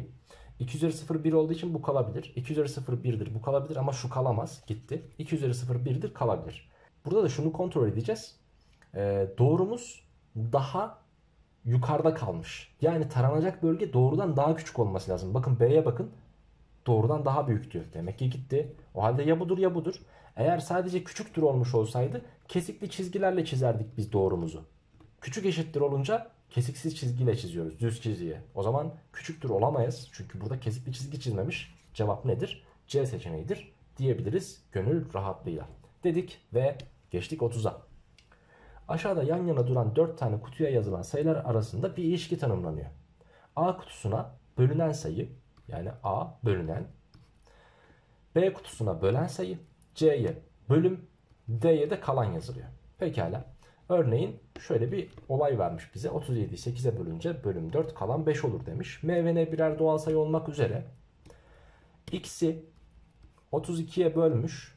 Burası M çıkmış. Burası 29. Ve y'yi 24'e bölmüş. Burası n ve burası da 21 çıkmış. Buradan bunu anlıyoruz bu ikisinden. x çarpı y çarpımının 8'de bölümünden kalan sormuş. Şimdi ben x'i bir oluşturayım. x 32m artı 29'dur arkadaşlar. Ve y sayısı da 24n artı 21'dir. Şimdi ben bunları çarpıp 8'e bölünmektense önce bunların 8'de bölümünden kalanları bulayım. 32m zaten 8'e tam bölünür. 28'in 8'de bölümünden kalan 5'tir. 24 zaten 8'e tam bölünür. 21'in 8'de e, bölümünden kalan gene 5'tir diyebiliriz. 5 kere 5 diyelim. Yani bunları çarpmaktansa kalanları çarpalım. 5 kere 5 kaç yapar? 25. Ve 25'in 8'de bölümünden kalanı bulsam aynı şey olur. Kalan nedir? 1'dir. O halde cevabımız da Bursa seçeneğidir diyebiliriz sevgili gençler. 31. sorumuzdayız. Yukarıdaki şekilde koordinat düzleminin 4'e 2 noktasında bulunan tavuk fx eşittir logaritma a tabanında bx artı c fonksiyonunun grafiği üzerinde hareket etmekte. Ve tavuk apsisi 4 bölü 3 olan noktada durmuş. Yani buradan yürümüş yürümüş yürümüş şurada durmuş arkadaşlar. Tavuğun durduğu noktanın ordinatı soruluyor bize. Şimdi ben bu fonksiyonun logaritmik bir fonksiyon olduğunu biliyorum. Hem şeklinden hem de soruda vermiş zaten. Yazalım. 4 yazalım önce. Logaritma a tabanında x gördüğümüz yere 4 yazarsak 4b artı c eşittir. Ben bunun 2 olması gerektiğini biliyorum. Başka neyi biliyorum? 0 yazdığım zaman 1'den geçtiğini biliyorum. Logaritma a tabanında 0 çarpı b 0 yapar zaten c eşittir kaçmış 1'miş. Şimdi a üzeri 1 eşittir c ise demek ki a c'ye eşitmiş. Bu 1. İkincisi ikincisi eksi 1 yazdığımda da 0'dan geçiyormuş. Yani logaritma a tabanında eksi b artı c gördüğüm yere de a yazıyorum artık a c'ye eşit olduğu için eşittir 0 diyeceğim a üzeri 0 kaç? 1. Demek ki eksi b artı a eşittir 1'miş. Yani b eşittir a eksi 1'miş de diyebiliriz. Bunu da bulduk. Sonrasında bakın şu bulduğumuz da bir işe yarasın. Şu bulduğumuz da bir işe yarasın. a kare eşittir 4b artı c'dir diyebilir miyiz deriz. Peki a kare eşittir. Ben b'nin a eksi 1 olduğunu biliyorum. 4 parantezinde a eksi 1 dedim. c'nin de a olduğunu biliyorum. Onu da yazdım a'nın karesi eşittir. 4a artı a'dan 5a yapar. Eksi 4'ümüz var. Hepsini sol tarafa topladım. a kare eksi 5a e, artı 4 eşittir 0. Burayı a'ya a. Burayı da eksi 4'e eksi 1 diye açarsak a eşittir 4 veya a eşittir 1'dir. Ama ben diyorum ki a 1 olamaz. Neden? Çünkü a tabandı. Taban 1 olamaz arkadaşlar. Taban 4'müş demek. Yani bizim fonksiyonumuz aslında şuymuş. Logaritma 4 tabanında B'miz neydi? A'dan 1 eksikti. Yani B 3'müş arkadaşlar. 3x artı 4'tür diyebiliriz. Çünkü C de A'ya eşit. Şimdi bize diyor ki 4 bölü 3'e karşılık gelen yerde hangi ordinat vardır diye soruyor. Demek ki ben buraya 4 bölü 3 yazacağım. Yani logaritma 4 tabanında 4 bölü 3 kere 3'ten 4 yapar. 4 artı 4'ten içerisi 8 yapar. Yani logaritma 4 tabanında 8 soruluyor bize. 4'ü biliyorsunuz 2'nin karesi. 8'de 2'nin küpü. 3'ü başa attım. 3 2'yi başa attım. 1 bölü 2 çarpı logaritma 2 tabanında 2 zaten 1'di. Cevap neymiş? 3 bölü 2. E şıklarda yok. Sen 3 bölü 2'nin zaten 1,5 olması gerektiğini biliyorsun. Cevabımız C seçeneğiymiş diyebiliriz sevgili gençler. Ve geçiyoruz 32. sorumuza. Dik koordinat sisteminde y eşittir 2 çarpı sinüs 4x fonksiyonunun grafiği verilmiş. Buna göre taralı alan kaç birim karedir diye soruluyor sevgili gençler. Şimdi burada aslında periyot sorusu da denilebilir. Hem de içerisinde biraz alan bulacağız. Trigonometri sorusu. Şimdi sinüs 4x diyor ya ben bu sinüs 4x fonksiyonunun periyodunu bulmak istiyorum. Bunun için 2 pi bölü mutlak a diyorduk hatırlarsanız. a dediğimiz şey ise sinüsün içindeki x'in katsayısı oluyor. Yani 4. Dolayısıyla 2 pi bölü 4'ün de mutlak değeri 4 olduğuna göre burası pi bölü 2'dir. Yani periyodumuz pi bölü 2 ise sevgili gençler burası 0 iken fonksiyon nereden itibaren kendini tekrar edecektir? Yukarı çıktı aşağı indi yukarı çıktı şimdi tekrardan bu şekilde de devam edecekti. Yani şurasıymış yani burası pi bölü 2'ymiş.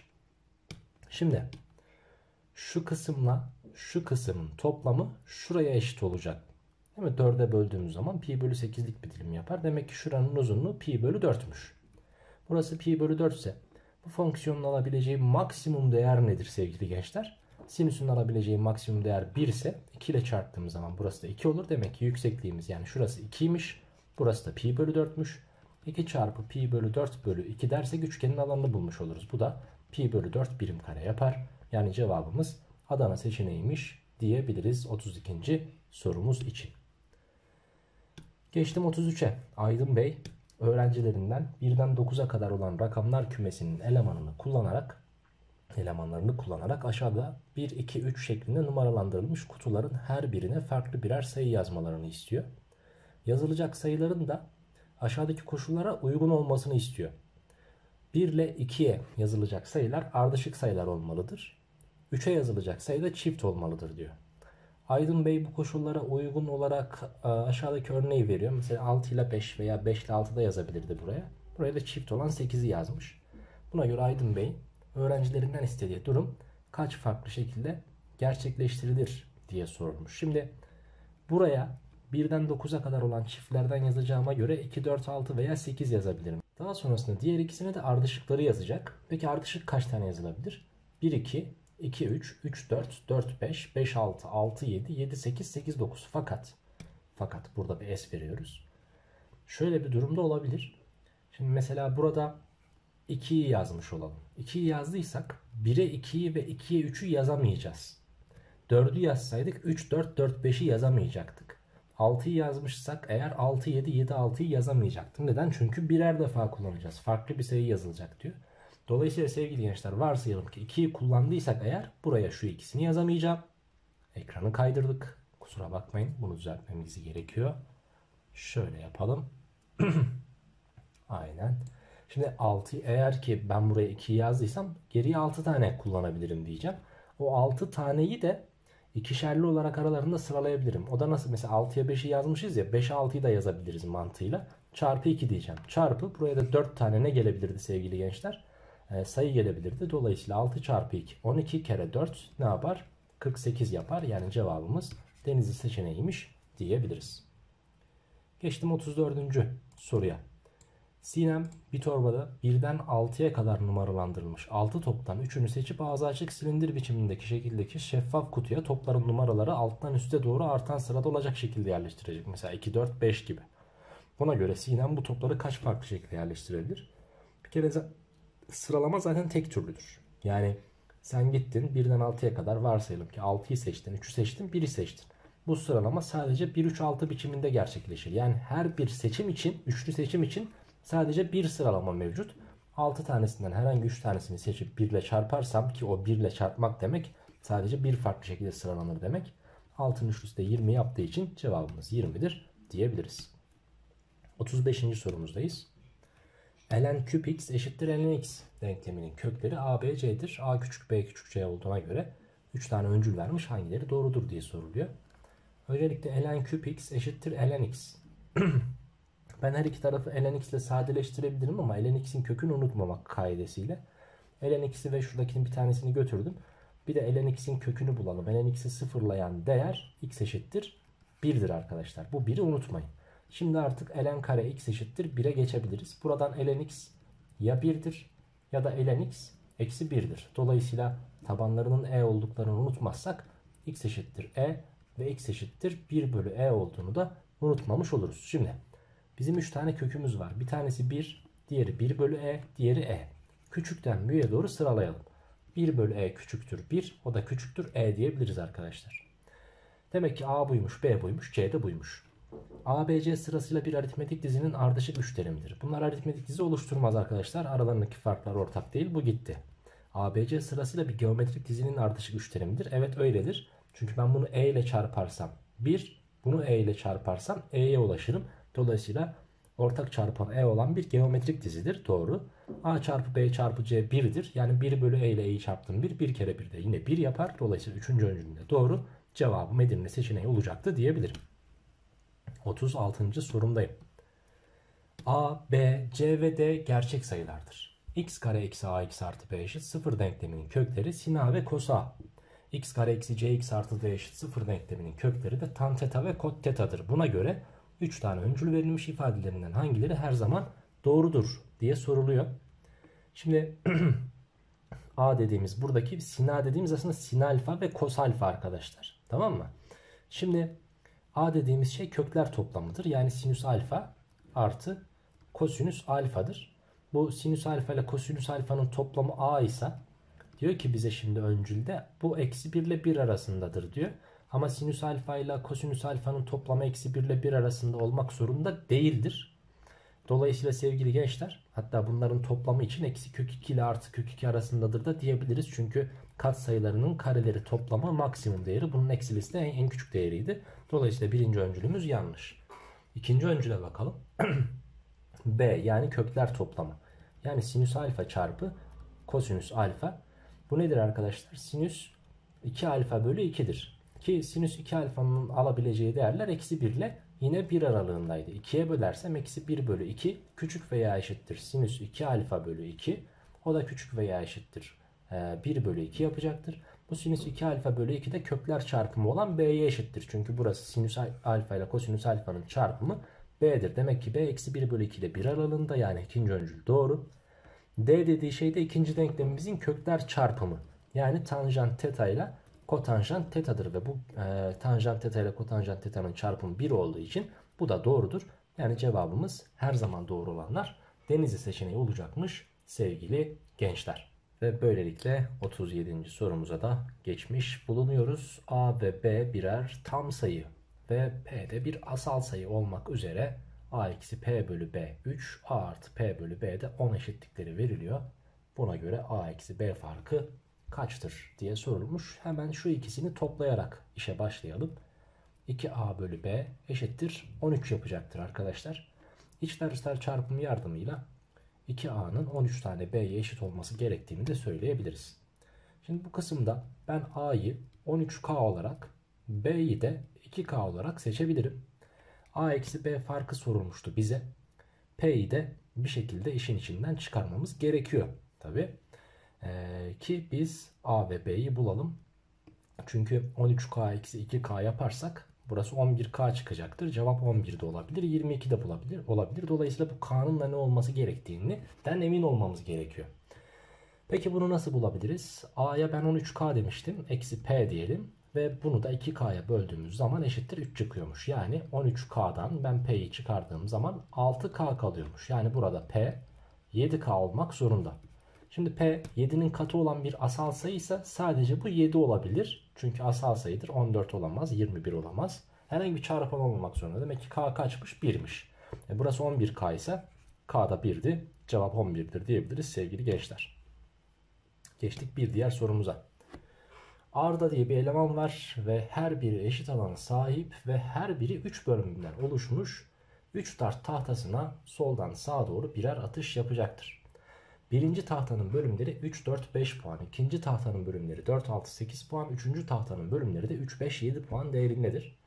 Arda'nın her, böl her bir bölmeyi vurma olasılığı eşit olduğuna göre isabetli 3 atış sonucunda Arda'nın toplam puanının çift olma olasılığı. Şimdi 3 tane atış yapacak ve atışlarından toplam kazandığı puanın çift olmasını istiyoruz. Bu hangi durumlar için mümkün?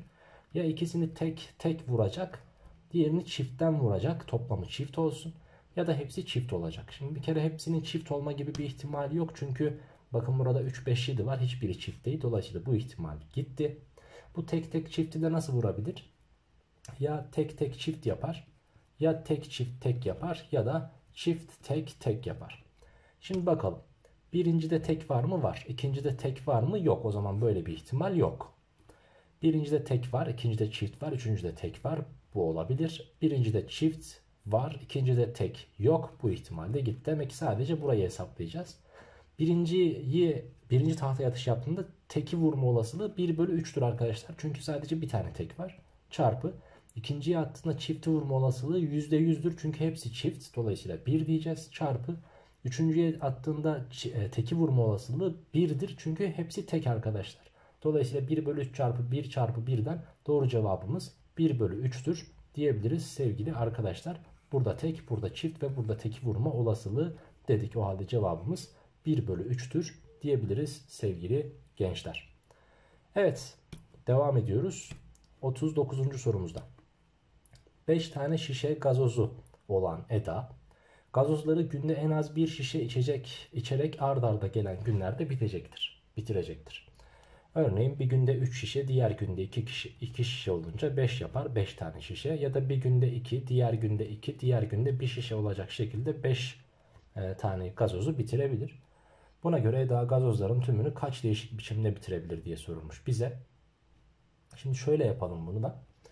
E, toplam 5 şişemiz var ve ben her birine 1, 1, 1 diyeceğim. Bunların bu birlerin her biri bir şişe gazozu ifade etsin bize.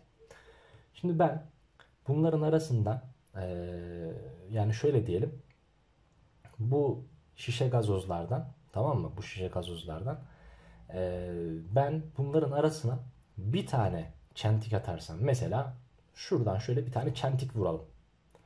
3'e 2 olarak ayrıldı ki buradaki bunu ifade eder. Ya da çentiği şuradan vurursam 2'ye 3'ü ifade eder. Birinci gün 2 tane, ikinci gün 3 tane içmiş olur. Bu şekilde o zaman ben bu çentiklerle bunları yönlendirebilirim. Peki ben kaç tane boşluk var bu birlerin arasında? 1, 2, 3, 4 tane boşluk var. 4 tane boşluktan bir tane çentiği seçerek işe başlarım. Böylelikle 1'e 4, 2'ye 3, 3'e 2 veya 4'e 1 olan ihtimalleri elimle de gözümle de sayabileceğim ihtimalleri bu şekilde toplu bir halde saymış olduk. Artı. Peki ya 3 günde bitirmek istersek? 3 günde bitireceksek 2 tane çentik atacağız. Mesela bir çentik buraya bir çentik buraya. Böylelikle birinci gün bir tane, ikinci gün 2 tane, üçüncü gün 2 tane içmiş oldu. 1, 2, 2 toplam 3 güne bitmiş oldu. Bu çentiklerin yerleri değiştikçe bizim de bitiriş bu gazozları bitiriş biçimimiz değişecektir. Dolayısıyla 4 tane boşluktan herhangi 2 tanesini seçmemiz gerekir. Artı Peki 4 günde bitirmek istersem o zaman ne olacak? 4 günde bitireceksem 3 tane çentik atacağım. Mesela 1, 2, 3 gibi.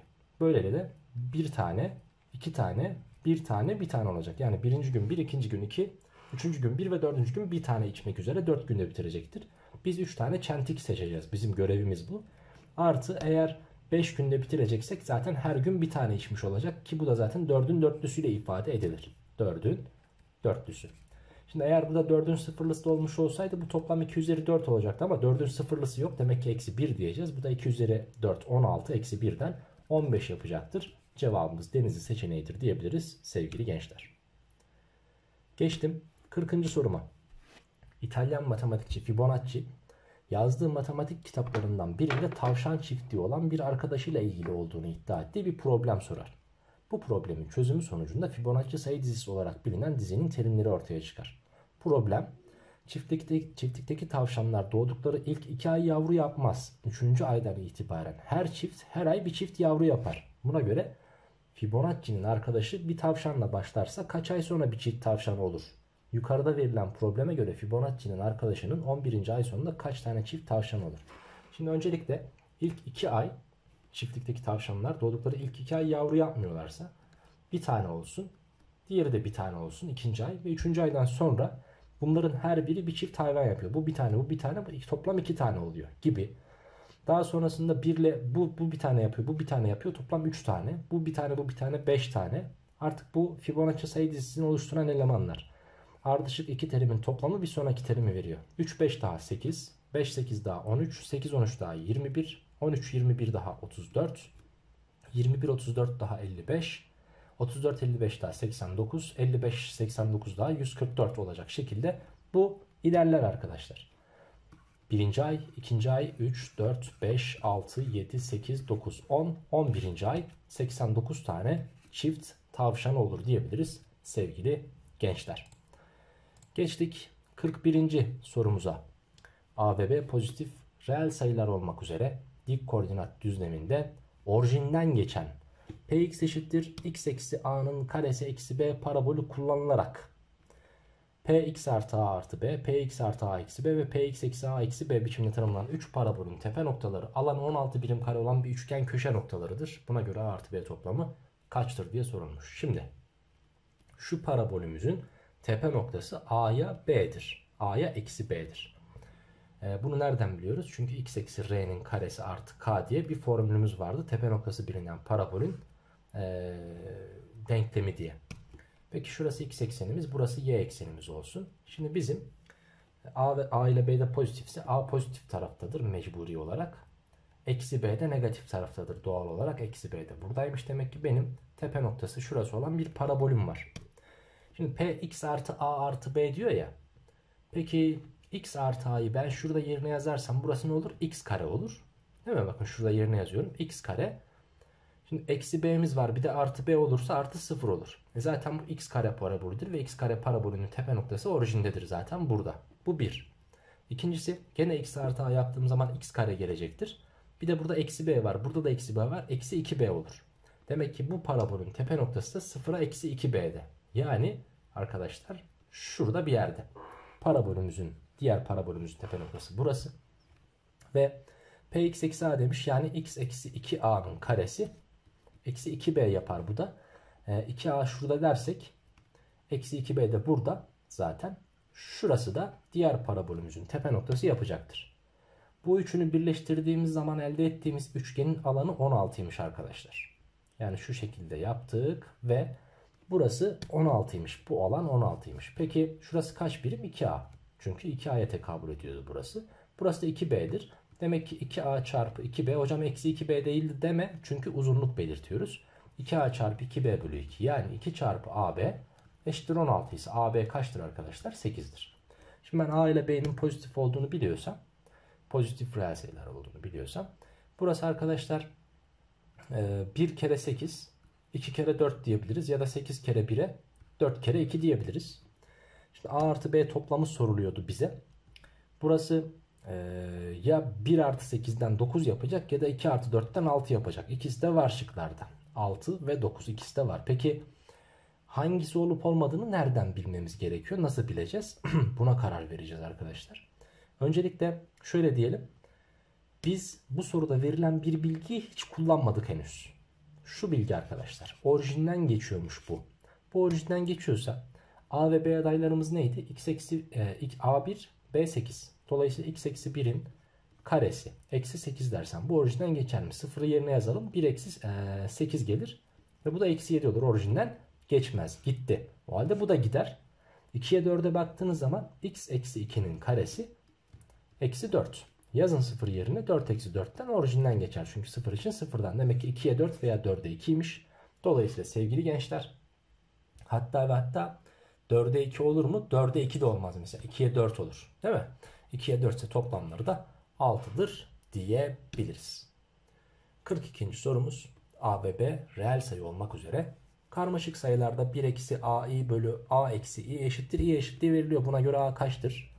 1 eksi AI eşittir. İşler dışlar yaparsak A eksi I kare. I kare eksi 1'di. Dolayısıyla burası artı 1 yapar. Yani 1 eksi AI eşittir A artı 1 olur. Böylelikle A'nın kaç olduğu sorulmuştu bize. Ee, bu tarafta arkadaşlar şurası AI bu arada. Onu yapmayı unuttuk. Şöyle olacak. Bunu karşıya atın 2AI değil mi? Bunu da karşıya atın 0. Peki 2AI eşittir 0 ise A kaçtır? Mecburi olarak 0'dır. Cevap Edirne'dir diyebiliriz. 43. sorumuz. M ve N sıfırdan ve birbirinden farklı iki reel sayı olmak üzere. Şimdi M ile N birbirinden farklıymış ve aynı zamanda M ile N sıfırdan da farklıymış. Bunları unutmayalım. Ve sonrasında x kare artı m artı 1x artı n eksi m eşit 0 denkleminin köklerinden bir tanesi de m eksi neymiş? Bakın şimdi bu kökleri x1 ve x2 olarak ele alacak olursak x1 çarpı x2 eşittir n eksi m'ymiş. Ben x1'i m eksi n olarak seçersem x2'yi mecburen eksi 1 seçmek zorundayım ki n eksi m gelsin bunların çarpımı. Şimdi bir kökümüz bu diğer kökümüz de eksi 1 oldu. Bu köklerin toplamı m eksi n eksi 1'dir. Ve kökler toplamı formülünden bakacak olursak eksi m eksi n gelecektir. Eksi m eksi 1 gelecektir arkadaşlar. Kökler toplamı eksi b bölü a'dan. Bu taraftaki eksi m'yi bu tarafa atarsam 2m yapar. Eksi n'yi bu tarafa atarsam n yapar. Zaten eksi 1'ler gidiyor. 2m eşittir n ise n bölü m 2'dir sevgili gençler. Dolayısıyla cevabımız da Adana'dır diyebiliriz. 44. sorumuz. Terimleri birbirinden farklı ve ortak farkı farkı olacak burası. Ortak farkı R olan bir AN aritmetik dizisi için A1'i 3R olarak seçmişiz. Ve A6 eşittir A2 çarpı A4 olarak bir eşitlik veriliyor. A10 kaçtır diye sorulmuş. Bir kere ben A6'yı aritmetik dizi olduğu için arkadaşlar A1 artı 5R olarak yazabilirim. A2'yi A1 artı R, A4'ü de A1 artı 3R olarak yazabilirim. Ve bu buna eşitmiş. Şimdi A1 neydi arkadaşlar? 3R idi. Dolayısıyla bu taraf 8R yapar. Şurası 4R yapar. Ve şurası da 6R yapacaktır. Şimdi 8R ile 4R'yi sadeleştirirsem 2. Bununla da bunu sadeleştirirsem 3. Demek ki R kaçmış arkadaşlar? 1 bölü 3'müş. A10 kaçtır? Bir kere A10 dediğimiz sayımız A1 artı 9R'dir. A1'imiz 3R idi. A10 eşittir. Demek ki burası 12R olacakmış. R'yi de 1 bölü 3 bulmuştuk. 12 çarpı 1 bölü 3 dersek doğru cevabın 4 olması işten bile değil. Cevap 4'tür diyebiliriz. Doğru cevabımız Denizli'ydi. Geçtim 45'e. Yukarıda 1 eksi sinüs 2x fonksiyonunun grafiği verilmiş. Buna benzer bir soru daha çözmüştük yaklaşık 15-20 soru önce. Hatırlayın. AB OY eksenine yani y eksenine paralel. Buna göre taralı alan kaç birim karedir diye sorulmuş. Öncelikle periyot bulacağız. 2 pi bölü mutlak a ki a dediğimiz trigonometrik fonksiyonun içindeki x'in katsayısıydı. Yani 2. 2'nin mutlak değeri. 2 pi bölü 2 de pi gelecektir. Yani burası arkadaşlar 0 ise orijin ise e, bunun tekrar ettiği yer neresidir? Tekrar ettiği yer şurasıdır. Ve buraya kadar pi birimlik bir yol alacakmışız. Ki şurasıyla şurası arasındaki fark da buranın yarısı kadar olur. Yani pi bölü 2 kadar olur. Şimdi ben üçgenimin tabanı olarak şurayı seçersem bu, üç, bu tabana ait yükseklik de şurasıdır o halde. Ve burası pi bölü 2'miş. Peki bu taban kaçtır? Bu fonksiyonun alabileceği maksimum değerle minimum değeri bir bulalım bakalım. 1 eksi sinüs 2x. Bunun alabileceği maksimum değer 1 olduğu için fonksiyonun alabileceği minimum değer 0 olur. Bunun alabileceği minimum değer eksi 1 olduğu için fonksiyonun alabileceği maksimum değer de 2 olur. 0 ile 2'nin tam ortası ne? 1. Bakın şurası 1'miş. Ve şurası da sevgili gençler 2'ymiş. O zaman tabanım da 1'dir. Demek ki 1 çarpı yükseklik pi bölü 2 bölü 2 diyeceğim. Yani cevap pi bölü 4 olacak. Buradaki alanımız Ceyhan seçeneğinde verilmiştir diyebiliriz. 46. soru. Acilden bir soru. Güzel de bir soru. Dikkatli dinlemeni tavsiye ederim. Bol bol kazanım sağlayacak sana. ABC'de dikdörtgensel bölgesi biçimindeki bir arazinin içinde BD yolu yani şurası ve dışında 4 kilometre uzunluğundaki DE yolu vardır. O da şurası. Her iki yolda doğru parçası biçimindedir. Doğrusaldır diyor. Arazinin AB kenarının uzunluğu 4 çarpı cos 32 kilometre olduğuna göre E noktasının AB kenarına uzaklığı kaç kilometredir diye sorulmuş. Yani şu E noktasının şuradaki AB'ye dik iz düşümünün uzunluğu ne kadardır diye sorulmuş. Şimdi gençler öncelikle ben şurasının aslında 28 derece olduğunu biliyorum. Z'den kaynaklı. Şuradaki uzunluğu hesaplayabilir miyim? Oradaki uzunluğu hesaplamadan önce şuradaki uzunluğu hesaplayalım. Soru işaretiyle eğer ben kosinüs 28'i çarpmış olsaydım eğer eşittir diyecektim. 4 çarpı kosinüs 32'nin olduğu yer. Çünkü soru işaretiyle kos 28'i çarparsanız şu kısımdaki uzunluğu bulmuş olursunuz. Ki burayı da 4 kos 32 olarak vermiş. Demek ki soru işaretimiz neymiş? 4 çarpı kosinüs 32 bölü kosinüs 28'miş aslında. Peki ben bunu eğer sin 28 ile çarpmış olsaydım ne olurdu? O zaman da şurayı bulurduk. Yani AD uzunluğunu ya da CB uzunluğunu bulurduk. Ki CB uzunluğu artık neymiş? 4 çarpı kosinüs 32 bölü kosinüs 28 çarpı sinüs 28'miş. Uzun oldu ama kısalacak merak etmeyin. Şimdi arkadaşlar ben şunu dikiz düşümlü indirdiğim zaman nereden geçeceğini bilmiyorum. Belki CB ile çakışık olacak. Belki CB'nin sol tarafında belki sağ tarafında ama ben bunu dik iz düşürdüğüm zaman burası 4 olduğu için ve burası da 32 derece olduğu için şuradaki uzunluk yani D'den C'ye kadar olan uzunluk 4 çarpı cos 32 olacaktı. Ki zaten öyle demek ki tam olarak buradan geçiyormuş. O halde şuradaki uzunluğu da ben artık 4 çarpı sinüs 32 diyebilirim. Şimdi E noktasının AB'ye olan uzaklığını bulabilmek için şurasıyla şurasını toplamam gerekiyor. Yani şu artı şu diyeceğiz. Peki bu ikisini bir toplayalım bakalım. Artı 4 çarpı sinüs 32 dedik. İkisini toplamak için paydasını eşitlemem gerekiyor. 4 çarpı kosinüs 32 çarpı sinüs 28 artı 4 çarpı sinüs 32 çarpı şuradakiyle çarpacağım kosinüs 28 bölü kosinüs 28 diyeceğim. Ve 4 parantezine alındığı zaman bunlar cos 32 sin 28 sin 32 cos 28 yani sinüs toplam formülü elde ediyorum. 4 çarpı sinüs 28 ile 32'yi toplayacağım. 60 yapacak. Ki sin 60 dediğimiz sayı kök 3 bölü 2'dir. 4 çarpı kök 3 bölü 2 çarpı kosinüs 28 de 1 bölü kosinüs 28 de sekant 28'dir biliyorsunuz. Şu 2 ile de 4'ü sadeleştirirsem 2 gelir. Ve cevabım 2 kök 3 çarpı sekant 28 olur. Yani Adana seçeneği olur diyeceğim sevgili gençler. Geçtik 47'ye.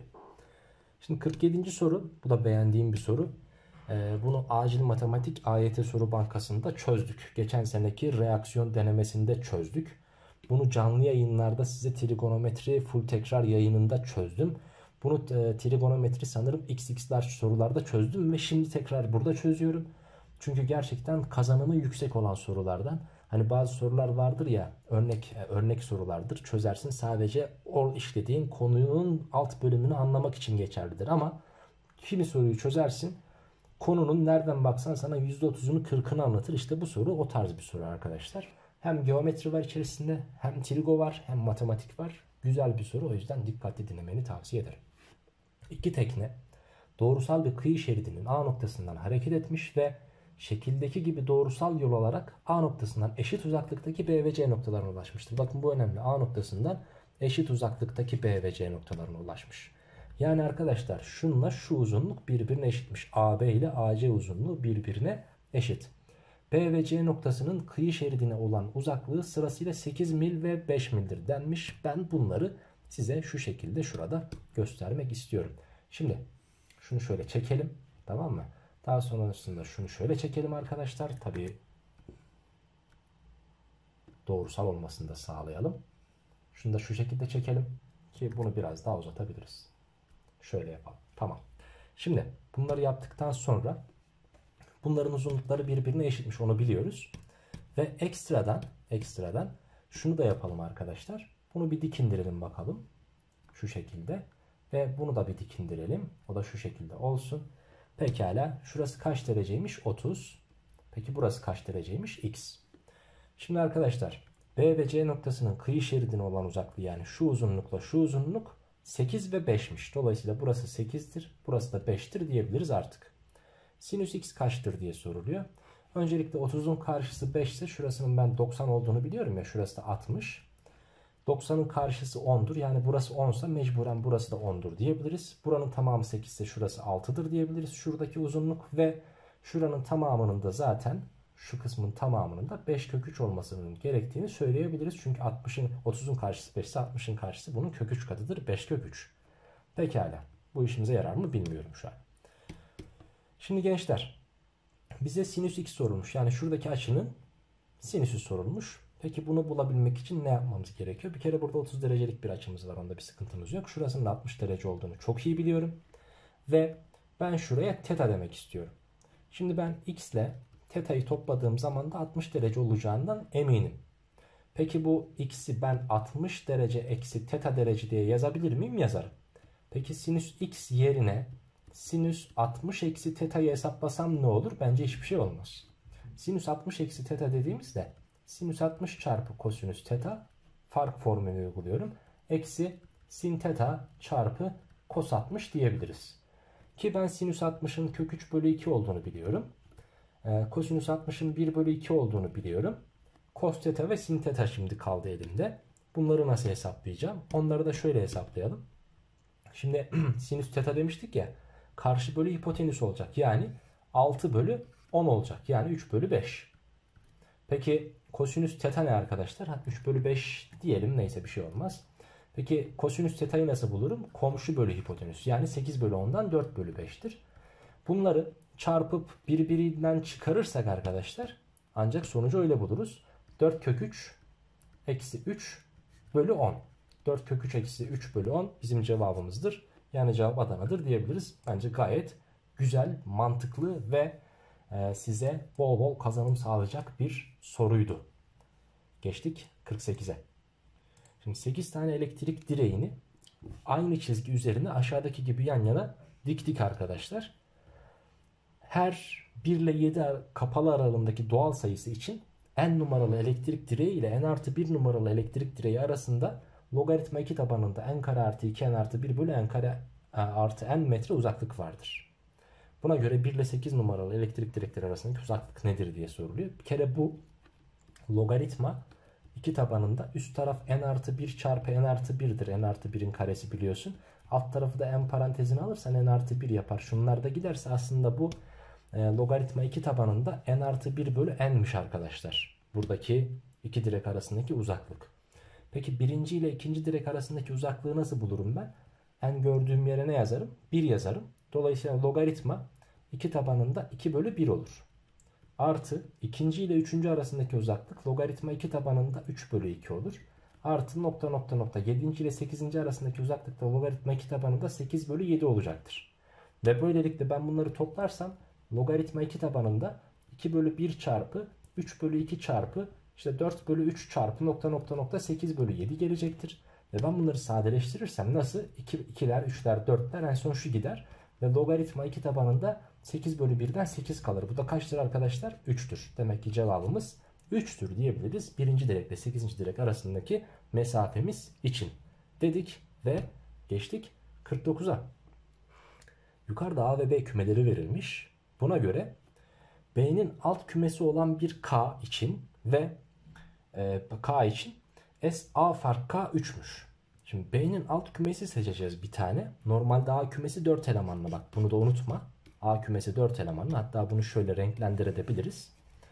E, A kümesi neresi? Şu turkuazda gösterdiğim bölge benim A kümem değil mi? Peki arkadaşlar bu A kümesinden e, K kümesini B kümenin alt kümesi olan K kümesini çıkarınca 3 tane eleman kalıyormuş A'nın içerisinde. Şimdi B'nin alt kümesi ise bu nerede olabilir? Şu bölgede bir yerde olabilir. Ki A'nın 3 tane elemanı kalacaksa eğer bu e, K kümesi haricinde bu K kümesinin elemanlarından bir tanesi mutlaka ama mutlaka D'dir arkadaşlar. D'nin yanına bir şeyler eklemem lazım ama bir şey var mı yok mu onu da bilmiyorum. Peki şöyle diyelim. Bu K kümesinin içerisinde E var mıdır? Cevap ya vardır ya yoktur. Nereden bileceğim hocam? Derken bile cevabı söylüyorsun aslında. Bakın ne diyorsun? Ya vardır ya da yoktur. Yani iki ihtimal var. F için iki ihtimal var. Çarpı H için iki ihtimal var. Çarpı G için gene iki ihtimal var. 2 çarpı 2 çarpı 2 çarpı 2'den 16 tane ben birbirinden farklı K kümesi oluşturabilirim sevgili gençler dedim ve 50'ye geçtim. Aşağıda grafiği verilen 3. dereceden fx polinom fonksiyonu x eşittir 2 apsis noktada x eksenine teğettir. Buna göre x eksi 2 çarpı f x eksi 5 büyük veya eşittir 0 eşitsizliğini sağlayan tam sayıların toplamı nedir diye soruluyor ki ben fx'i sanki yazabilirim ya sen bana yazdırabilirsin bunu. Bir kere sonsuza giderken azalarak gittiği için başında bir eksi olacak. Bu bir. İkincisi 2'de x eksenine teğet olduğu için x eksi 2'nin karesi olacak. Bu 2. Üçüncüsü 6'da x eksenini kestiği için x eksi 6 diye de bir çarpanımız, çarpanımız olacak. Başka bir çarpanı var mı? Tabii ki yok. Hem de zaten 3. dereceden dediği için bitti diyebiliriz. Şimdi ama bize fx lazım değil. Ne lazım? f x eksi 5. x gördüğünüz yere x eksi 5 yazarsanız eksi parantezinde x eksi 7'nin karesi çarpı x eksi 11 gelecektir. Ve bu fx eksi 5 ile de dışarıdan x eksi 2 ile çarpmış. Bunu demek ki biz de bu taraftan çarparsak artık bizim fonksiyonumuz hazır. Eşitsizliğimizi çözebiliriz. Peki nasıl? Buranın kökü 2. Buranın kökü 7 ama çift katlı. Buranın kökü 11. 2'yi, 7'yi ve 11'i yazdım. Bir kök tablosu oluşturacağım. İşaret tablosu oluşturacağım. Şimdi 11'de benim tek katlı bir köküm var. Ve eşitlik olduğu için sıfıra içini dolduracağım.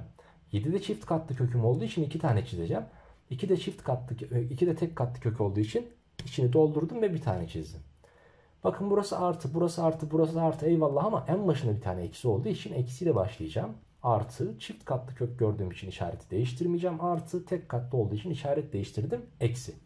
Nereye istemişti? Sıfırdan büyük olan yerleri. Yani şu kısmı istemiş arkadaşlar. Bizden bu eşitsizliği sağlayan x tam sayılarının toplamı sorulmuş bize.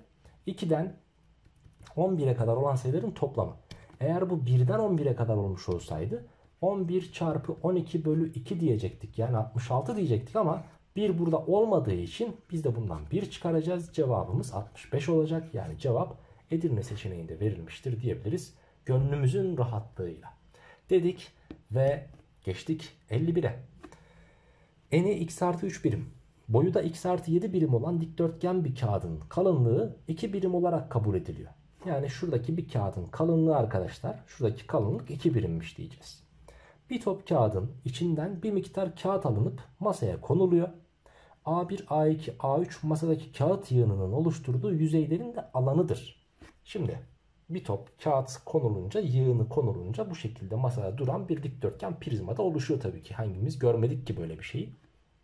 Buna göre 3 tane öncül verilmiş. Hangileri doğrudur diye soruluyor. Şimdi birinci öncülümüze bakalım. A1 çarpı A2 bölü A3. A1'i bana söyleyebilir misiniz? Tabii kağıdın yüksekliğini bilmiyoruz. Kağıdın yüksekliğinde ben H diyeceğim.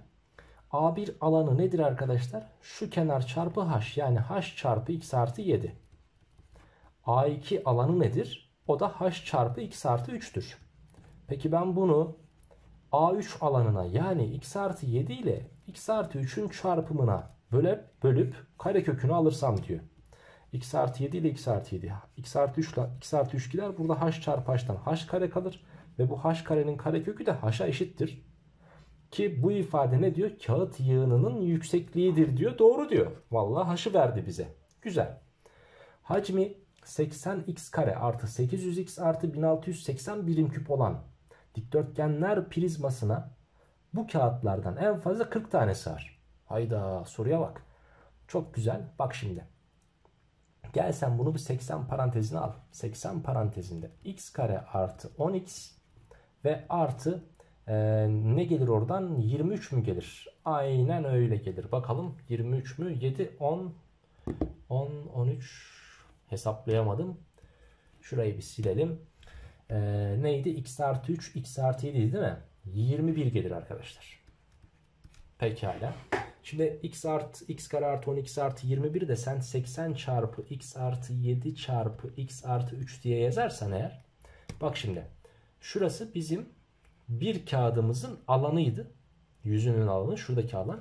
Bir de bunun çarpı 2 kalınlığı var. O yüzden 40 çarpı 2 çarpı x artı 7 çarpı x artı 3 diye yazarsam ben bunu. Şu bak şurası bir kağıt. Bu bir kağıt. O zaman şu hacmin içine kaç tane bu kağıtlardan sığarmış? 40 tane. Yani maksimum alabileceği kapasite bu. Sen istersen 3 tane koyarsın, 5 tane koyarsın ama maksimum 40 tane koyabilirsin. Dolayısıyla ikinci öncülüm de doğru. A3 bilinirse kağıt sayısı bulunabilir. A3 dediğimiz şey x artı 7 ile x artı 3'ün çarpımıdır. Ama biz e, kağıt sayısının yani bu yığındaki kağıt sayısını bulabilmek için bizim haşa ihtiyacımız var. Ve haşı hiçbir şekilde x artı 3 veya x artı 7 bilinse de bulamayız arkadaşlar. Mecburen hacmini de bulmamız lazım. Yani A3'ü bildiğimiz gibi hacmini de bilmemiz lazım. Dolayısıyla 3. öncülüm yanlış diyeceğim. Ve cevap Denizli diyeceğiz sevgili gençler. Güzel yazmışım ama değil mi? Vallahi güzel yazmışım.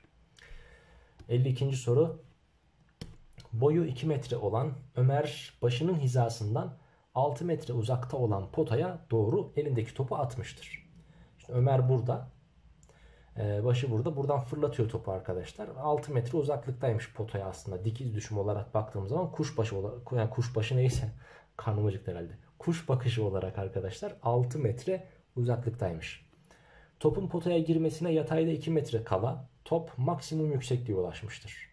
Topun izlediği yol havada parabolik bir yörünge izlemektedir. Buna göre top yerden en fazla kaç metre yüksekliğe çıkmıştır. Şimdi arkadaşlar gelin şuraya şöyle bir yorum yapalım. Şu beyazı alalım elimize. Şimdi gençler ben şunu şuradan şöyle çekeyim. Tamam çektikten sonra burası benim x eksenim olsun diyeyim. Ve şurası da benim y eksenim olsun diyeyim. Şurası da y ekseni. Bunlara göre yorumlayabiliriz. Şimdi bakın burası 2 metre ise şurası da 2 metredir. Dolayısıyla burası 4'ü verecektir bize. Ve şurası 6 metre olduğu için şuradan şu şekilde indirdiğim zaman burası da 6'dır diyebiliriz artık. Tamam. Pekala. Devam. Ee, biz şuradaki sıfırdan geçtiğini biliyoruz buranın. Buranın da 4'ten geçtiğini biliyoruz. Dolayısıyla x çarpı x eksi 4 diye bir çarpanımız olur diyeceğiz. Çarpı bir de başında a'mız olacak bunun. Ve şunu da unutmayalım. Şurayı 6'yı yerine yazınca hop şuradan geçecek. Yani bunun boyu 2 metreydi. E şurası da 3 metreydi. Demek ki şurası neymiş? Hop şöyle getirdiğimiz zaman burası arkadaşlar eksi 1'miş demek ki. 1 birim olacak. Çünkü şunu şöyle getirdiğimiz zaman bu kişinin boyu 2 metre. E şurası da 3 metreydi. 3'ten 2'yi çıkardım. 1 birim olacak. Şurası 1 metre olacak. Demek ki ben 6'yı burada yerine yazınca a çarpı 6 çarpı 2 eşittir. Eksi 1 olacakmış. Demek ki a kaçmış arkadaşlar? Eksi 1 bölü 12'ymiş. Tamam parabolü bulduk. Parabol eksi 1 bölü 12 çarpı x çarpı x eksi 4'müş arkadaşlar. Bu bizim parabolümüz. Diyor ki bu top yerden en fazla kaç metre yükseğe çıkar? Maksimum yüksekliğe nerede ulaşmıştı bu top? İkinci metrede. Değil mi? Şurada 2'de. 2'yi şimdi bir yerine yazın bakalım. Eksi 1 bölü 12 çarpı 2 çarpı 2'den 4'ü çıkardım. Eksi 2. Çarptığımız takdirde 4 bölü 12 gelecektir. Yani 1 bölü 3 gelecektir. Bu 1 bölü 3 değil cevap. Yani 1 bölü 3 şurası. E bundan önce bir de bunun yerinin altında ne var? 3 metre var. Demek ki 3 ile 1 bölü 3 toplayacağım. Cevapta ne olacak? 10 bölü 3 olacak diyeceğim. Yani cevabımız neymiş arkadaşlar biliyor musunuz? Adana seçeneğiymiş diyebiliriz. Bu renk inşallah görünmüştür. Benim ekranda görünüyorsa sizin ekranda da görünür. Geçtik 53'e. Aşağıdaki görselde verilen bir golf oyuncusu bir rampanın üzerinden golf topunu yerden 3 metre yükseklikteki potaya doğru atıyor. Şimdi yerden 3 metre yükseklikte burası. Buradan vuruyor ve tutturuyor diyelim. Topun havada çizdiği yörünge fx eksi 1 bölü 5x kare artı 10x fonksiyonuyla modelleniyor. Buna göre top yerden en çok kaç metre yükseğe çıkmıştır diye soruluyor. Şimdi şöyle diyeceğiz. Bizim bu topumuzun maksimum yüksekliğe ulaştığı yer bu parabolün tepe noktasıdır. Tepe noktamız ne? Eksi 10 bölü eksi 2 bölü 5 diyeceğiz. Şunun iki katı. Eksiler gitsin. Ters çevirip çarptığım zaman 25 gelir. Bu 25'i yerine yazmam lazım ki maksimum çıktığı yüksekliği bulalım. Eksi 1 bölü 5 çarpı 25 çarpı 25 diyeceğim ben buraya. Artı bir de 10 kere 25 diyeceğim. Bakın şurası şöyle 5 gelecek ve eksi 125 artı 250'den burası 125 gelecek. Demek ki şurası 125 metreymiş arkadaşlar. Peki bir de bunun yerin altında var 3 metrede. Yerin altı dediğim yer yani lafın gelişi diyoruz. Eee bu platformun altında var 3 metrede. 3 artı 125'ten cevabımız nedir? 128'dir. Yani denizlidir diyebiliriz. Geçtim 54'e. Ekvatorda sabah 10'da hava sıcaklığı 24 santigrat derece ölçülmüştür. Ve bu andan itibaren her saat başı sıcaklığın 3 santigrat derece arttığı gözlemlenmiştir. Herhangi bir t anında hava sıcaklığı ft'dir. Yani bu fonksiyonla bulunabiliyormuş ve ft-11 bölü f'in tersinde t küçüktür sıfır eşitsizliğini sağlayan kaç tane t tam sayısı vardır diye soruluyor bize. Ben bu t, ft fonksiyonu bulmam lazım önce. ft fonksiyonu öncelikle ne olursa olsun başlangıçta 24 santigrat derece bir hava sıcaklığına sahibiz. Artı saat 10'dan sonra bir e, üçer üçer artıyorsa diyeceğim ki ben t'den 10'u çıkarırım. Tamam mı? T'den 10'u çıkarırım. Mesela 10'dan 10'u çıkardım 0. 0 kere 3 0. Artmıyor orada 24 santigrat derece ama saat 11'de bir tane 3 derece artacak. Dolayısıyla çarpı 3 diyebilirim. 3 santigrat derece diyebilirim. Böylelikle ft fonksiyonu bu olmuş olur. Peki ft-11 nedir arkadaşlar? ft fonksiyonunu kabaca modellersek 24 artı t-10 çarpı 3 diyebiliriz. Ya da 3t şurası eksi 30 artı 24'ten eksi 6 gelebilir sevgili gençler. 3t eksi 6 iken t eksi 11 ne olur yerine yazarsak? 3 çarpı t eksi 11 eksi 6 diyeceğiz. Yani 3t eksi 33 eksi 6'dan eksi 39 mu gelecek? 3t eksi 39 bölü f'in tersinde t. Şimdi şunun tersini bulun bakalım. x artı 6 bölü 3 yapmaz mı arkadaşlar burada? t artı yani. Değil mi? T artı 6 bölü 3 yapar bu da. Ters çevirip çarptığımız zaman 3 çarpı 3T eksi 39 bölü T artı 6 gelecektir. Şimdi burada kökümüz eksi 6. Buradaki kökümüz de 13 arkadaşlar. Ve siz burada artık kök tablosu oluşturacaksınız. Eksi 6 ve 13 diye. Çizelim bunu da şu şekilde. Kaç tane t tam sayısı vardır diye sorulmuştu. Şimdi gençler burayı eşitlik var mı? Yok. Dolayısıyla içlerini boş bırakacağım. Ne ile başlayacağım? Bir de o da önemli. Burası pozitif, burası pozitif olduğuna göre artı eksi artı dedim. Sıfırdan küçük olan yerler istendiği için de şurasıdır diyeceğim. Burada alınabilecek maksimum sayı 12. Burada alınabilecek minimum sayı eksi 5. Dolayısıyla 12 eksi eksi 5 artı 1 diyeceğim. Burası da 17 artı 1'den 18 tane tam sayı vardır. Cevap da Denizli'dir diyebiliriz böylelikle. Geçtik 55'e son 6 soru. Çok güzel bir soru bakın. Klasik bir soru olmasına rağmen yani klasik soruların güzel soruların olmasına rağmen sanki klasik sorular güzel olamazmış gibi söylemeyelim. Eskiden çok güzel sorular vardı. Ee, şimdi klasik soru ama gerçekten matematiksel bilgini böyle işlem becerini sınayan bir soru. O yüzden dikkatli dinlemeni tavsiye ederim. Hatta vaktim varsa durdur videoyu kendimi çözmeye çalış. Çözemezsen beni dinle. Çözersem de tık tık sardır hemen bir sonraki soruya geç. Ya da belki daha pratiktir diye benim çözümümde dinleyebilirsin fark edilmez. Şimdi x'i ve y'yi vermiş. y birden büyük olduğuna göre x'in en geniş aralığı aşağıdakilerden hangisidir diye sorulmuş. Öncelikle e, x'i ben şu şekilde yazabilir miyim? a artı b artı b bölü a artı b diye yazabilir miyim? Yazarım. Bunu da a artı b bölü a artı b artı b bölü a artı b yazabilirim. Bu x'e eşit. Peki şu kısım kaçtır arkadaşlar? a artı b bölü a artı b 1'dir. Dolayısıyla burası 1 artı b bölü a artı b eşittir x diyebiliriz. Şu biri karşıya postaladığınız zaman b bölü a artı b eşittir x eksi 1 olacaktır. Şimdi gelin bunu bir ters düz edelim bakalım.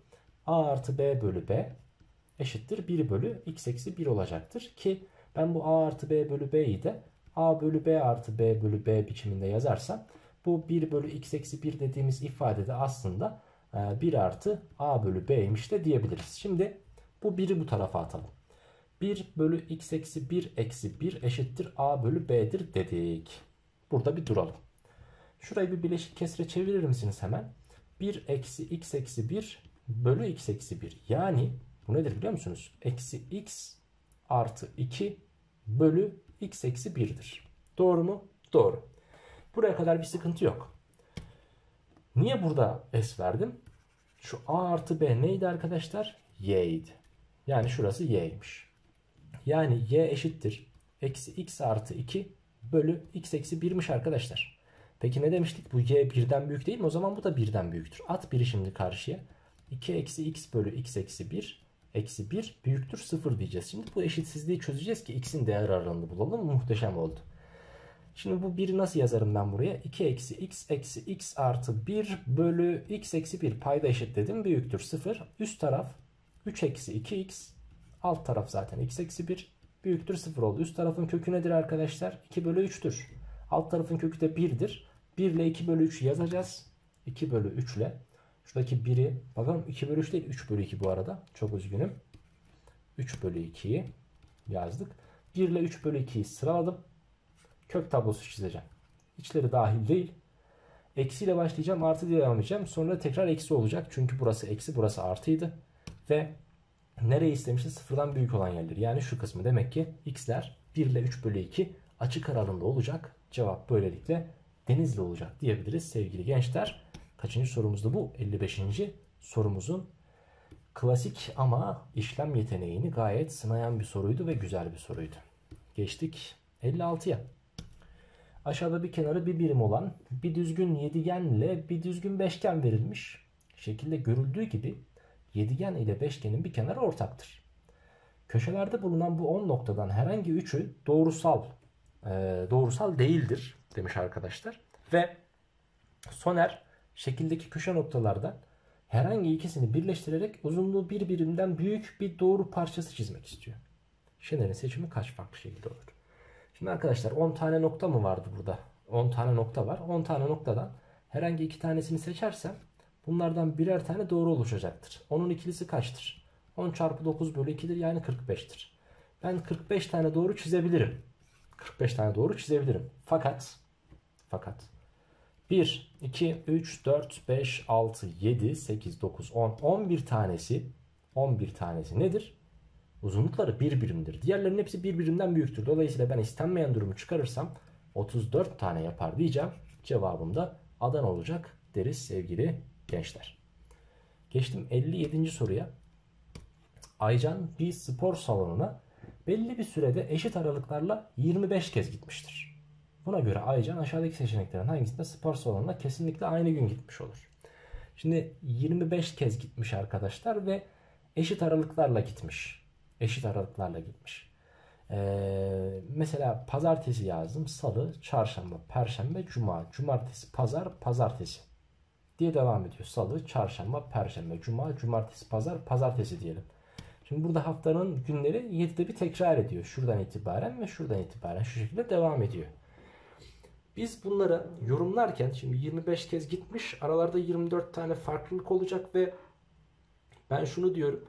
Aynı günler gidebilmesi için 7'nin katları şeklinde ilerlemesi lazım. Yani 7'nin katın hani şöyle mesela burası birinci gün. Bir sonraki günle arasında 7 gün olması lazım. Mesela şurası gibi bak mesela burası 8. gün. Burası kaçıncı gün yapar mesela? 8'in üzerine 7 daha eklersin. Burası da 15. gün olur. Hep bu şekilde gitmesi lazım. Dolayısıyla arkadaşlar dolayısıyla şöyle diyebiliriz biz buna. Birinci gün gitti. Üzerine 7 daha ekleyeceğim. Bunun üzerine 7 daha eklediğim zaman ancak aynı günler gidiyor. Veya veya veya veya veya 7'nin katları. Şimdi o zaman şöyle diyebilir miyiz? Mesela ilk ve son gidişi. İlk ve son gidişi derken eşit aralıklar demiş ya mesela burası bir, bir, birer gün aralıklarla gitmiş olsaydı eğer burada burada mesela birinci gidişle sekizinci gidişi sekizinci gidişiyle on beşinci gidişi hep aynı günlere denk gelecekti. Doğru mu? Doğru. İlk ve son gidişi 25 kez gitmiş ya 24 tane arada gidişat şeyi var gitme seçeneği var 24 tane kesinlikle aynı gün gitmiştir diyor ya Şimdi bunlar birer gün arayla gitmiş olsaydı kesinlikle aynı aynı aranda, aynı gün gitmiş olmayacaktı. Birer gün arayla. Çünkü yani 24'ü 7'ye bölelim bir güzel. Kalan 3 olur. İlk gidişini pazartesi gittiyse son gidişini gider. Perşembe günü gider. Bu olmaz. İlk iki gidişi eğer ki 7'şer 7'şer gün arayla gitmiş ol, olsaydı ilk iki gidişi derdik cevaba. Ama şu şekilde olursa ilk iki gidiş aynı gün olmaz. Gitti. İkinci ve sekizinci gidişi. Şimdi ikinci gidişiyle sekizinci gün e, arasında mesela burada salı ve perşembe var. Direkt bu, bu örnek aslında çürüten bir örnek olmuş. O zaman C'de değil. Üçüncü ve sondan bir önceki gidişi. Bak şimdi. Üçüncü gidişi şurası olur. Değil mi? Şurası olur. Sondan bir önceki Şimdi biz 25 kez gitmişti ya. 25 kez gitmişti. İlk gün pazartesi gittiğine göre 24 kere daha bu periyot sürmüş olacak. Dolayısıyla 25. gidişinden önceki gün 24. gidiş olacak. Sondan bir önceki gidişi 24. gün olacak. Ve bir de 3 var. 3'ten 24'e kaç gün var arkadaşlar? 21. Arada 7'nin katı var mı? Var. O zaman mecburen cevabımız Denizli seçeneğidir diyebiliriz sevgili gençler. Neden 21? Çünkü 7'nin katı. Dolayısıyla mecburen hep aynı günlere denk gelmek zorundadır. Kaçar gün arayla gitmiş olursa olsun. Geçtik 58'e. Bu da güzel bir soru. Dikkatli dinlemende fayda var. Aşağıdaki şekilde önce sağ tarafı okuyoruz. 60 cm uzunluğundaki bir raf yere paralel olacak biçimde bağlı olduğu ipin orta noktasından duvarla duvardaki çiviye asılmıştır. Şekil 1'de ipin asıldığı noktada oluşturduğu açının ölçüsü 120 derece iken ipin uzunluğu artırılarak şekil 2'deki gibi bu açının 60 derece olması sağlanıyor. Raf ilk konumuna göre kaç santim aşağıya kaymıştır diye soruluyor bize. Şimdi şöyle düşünelim. Burası 60 ise burası 60 bölü kök 3'tür. Yani 20 kök 3'tür arkadaşlar. Burası da 20 kök 3'tür. Bu bir. Neden? Çünkü aradaki de açı 120 derece ise kenarların kök 3 katı karşısıdır. Ee, şekil 1'e geçtiğimiz zaman burası geri 60 olacak. E bunlar ne olacak arkadaşlar? Burası 60 santimetreyken e bu da 60 olacak. Bu da 60 olacak. Şimdi diyor ki çiviye olan uzaklığı raf ilk konumuna göre kaç santimetre kaymıştır? Biz onu bulacağız. Şimdi ben şunu şöyle çektiğim zaman şurası 60 olur mu olur? Burası 90 olur mu olur? Burası 30 olur mu olur? Burası da 30'muş. 30 santimetre. Ee, peki 90'ın karşısı 20 kök 3, 30'un karşısı nedir? 10 kök 3'tür. Yani burası başlangıçta 10 kök 3 birimmiş. Peki ben şunu şu şekilde aşağı indirdiğim zaman burası 30 olur mu? Olur. Peki arkadaşlar burası 90 mı? 90. Burası 60 mı? 60. 90'ın karşısı 60 ise 30'un karşısı 30'dur. Değil mi? 90'ın karşısı 60. 30'un karşısı 30'dur. 60'ın karşısı 30 kök 3'tür. Şimdi 30 10 kök 3 iken 30 kök 3'e kadar inmiş. Ne kadar inmiş? 20 kök 3. Bu şekilde bu soruyu rahatlıkla çözebilirdik. Geçtik 59'a. Ee, bu soru çok beğendiğim ama inanılmaz beğendiğim bir soruydu. Tekrar karşınıza çıkması için e, çabaladım. 59. soruya sıkıştırabildim. E, bu soruyu sormak için de farklı bir sorudan aslında e, başka farklı bir soruyu feda ettim. Bir okuyalım bakalım sorumuzu. Neymiş bu kadar önemli olan bir soru. Bir otoyol gişesinde yerden 1 metre yükseklikte konumlandırılmış olan 8 metre uzunluğundaki bariyer geçişi kapatmaktadır. Şu bariyer burayı kapatıyor. Kamyon, otobüs bir şey hiçbir şey geçemiyor buradan. Bariyer en fazla alfa derece açılıp tanjant alfa 1.93'tür. 1.93'tür. Peki. Güvenli geçiş için bariyere değmeden geçmek ve duvara 0.4 metreden daha fazla yaklaşmamak gereklidir. Duvara 0, duvara 40 santimetre uzaklıkta bulunacağız yani mecburen geçebilmek için ve bariyere değmeyeceğiz geçerken. Buna göre tabloda genişlik ve yükseklik bilgileri verilen araçlardan hangisi veya hangileri güvenli geçiş yapar diye sorulmuş. Şimdi bu soruda şöyle bir e, işlem yapalım bakalım. Ben bunu şu şekilde şunun bariyer olmasını istiyorum. Şöyle kırmızı diyelim. Şu bariyer açılmış arkadaşlar. Tamam mı? Açık bariyer. Ee, şurası şu şekilde 1 metre. Ve şu uzunluk da şu şekilde yaparsak açılmış halini düşünelim. Ee, Tabi burayı da şöyle yapmamız daha güzel olur. Hı. Burası da bariyer diyelim ve arkadaşlar şurası da bizim duvarımız olsun. Duvarı da şöyle gri ile gösterelim. E, hatta bunu da biraz boya yaptık. Paint, paint çalıştık sanki ama kusura bakmayın arkadaşlar. E, soruyu daha iyi anlamanız için biraz görselleştiriyorum. Şurası da duvar arkadaşlar. Aynen öyle. Şimdi peki. Şimdi ne yapacağız? Burası da duvar dedik. İlk arabamızı ele alalım. İlk aracımızı ele alalım. Aracın genişliği 5 metreymiş. Şimdi şurası kaç metreydi? 8'di tamamı değil mi? Şöylece 8'di. İlk aracımız 5 metre genişliğe sahipse bir kere e, ilk şu taraftan 40 santimetreyi feda edeceğiz. Yani 0.4 metreyi feda edeceğiz. O 0.4 metrenin sağ tarafına geçmemesi lazım. Aracın güvenli bir şekilde geçebilmesi için buradan. Burayı geçmemesi lazım sağ tarafa. Şimdi ben aracın 0'a 0 şurada durduğunu düşünecek olursam ve 5 metreydi.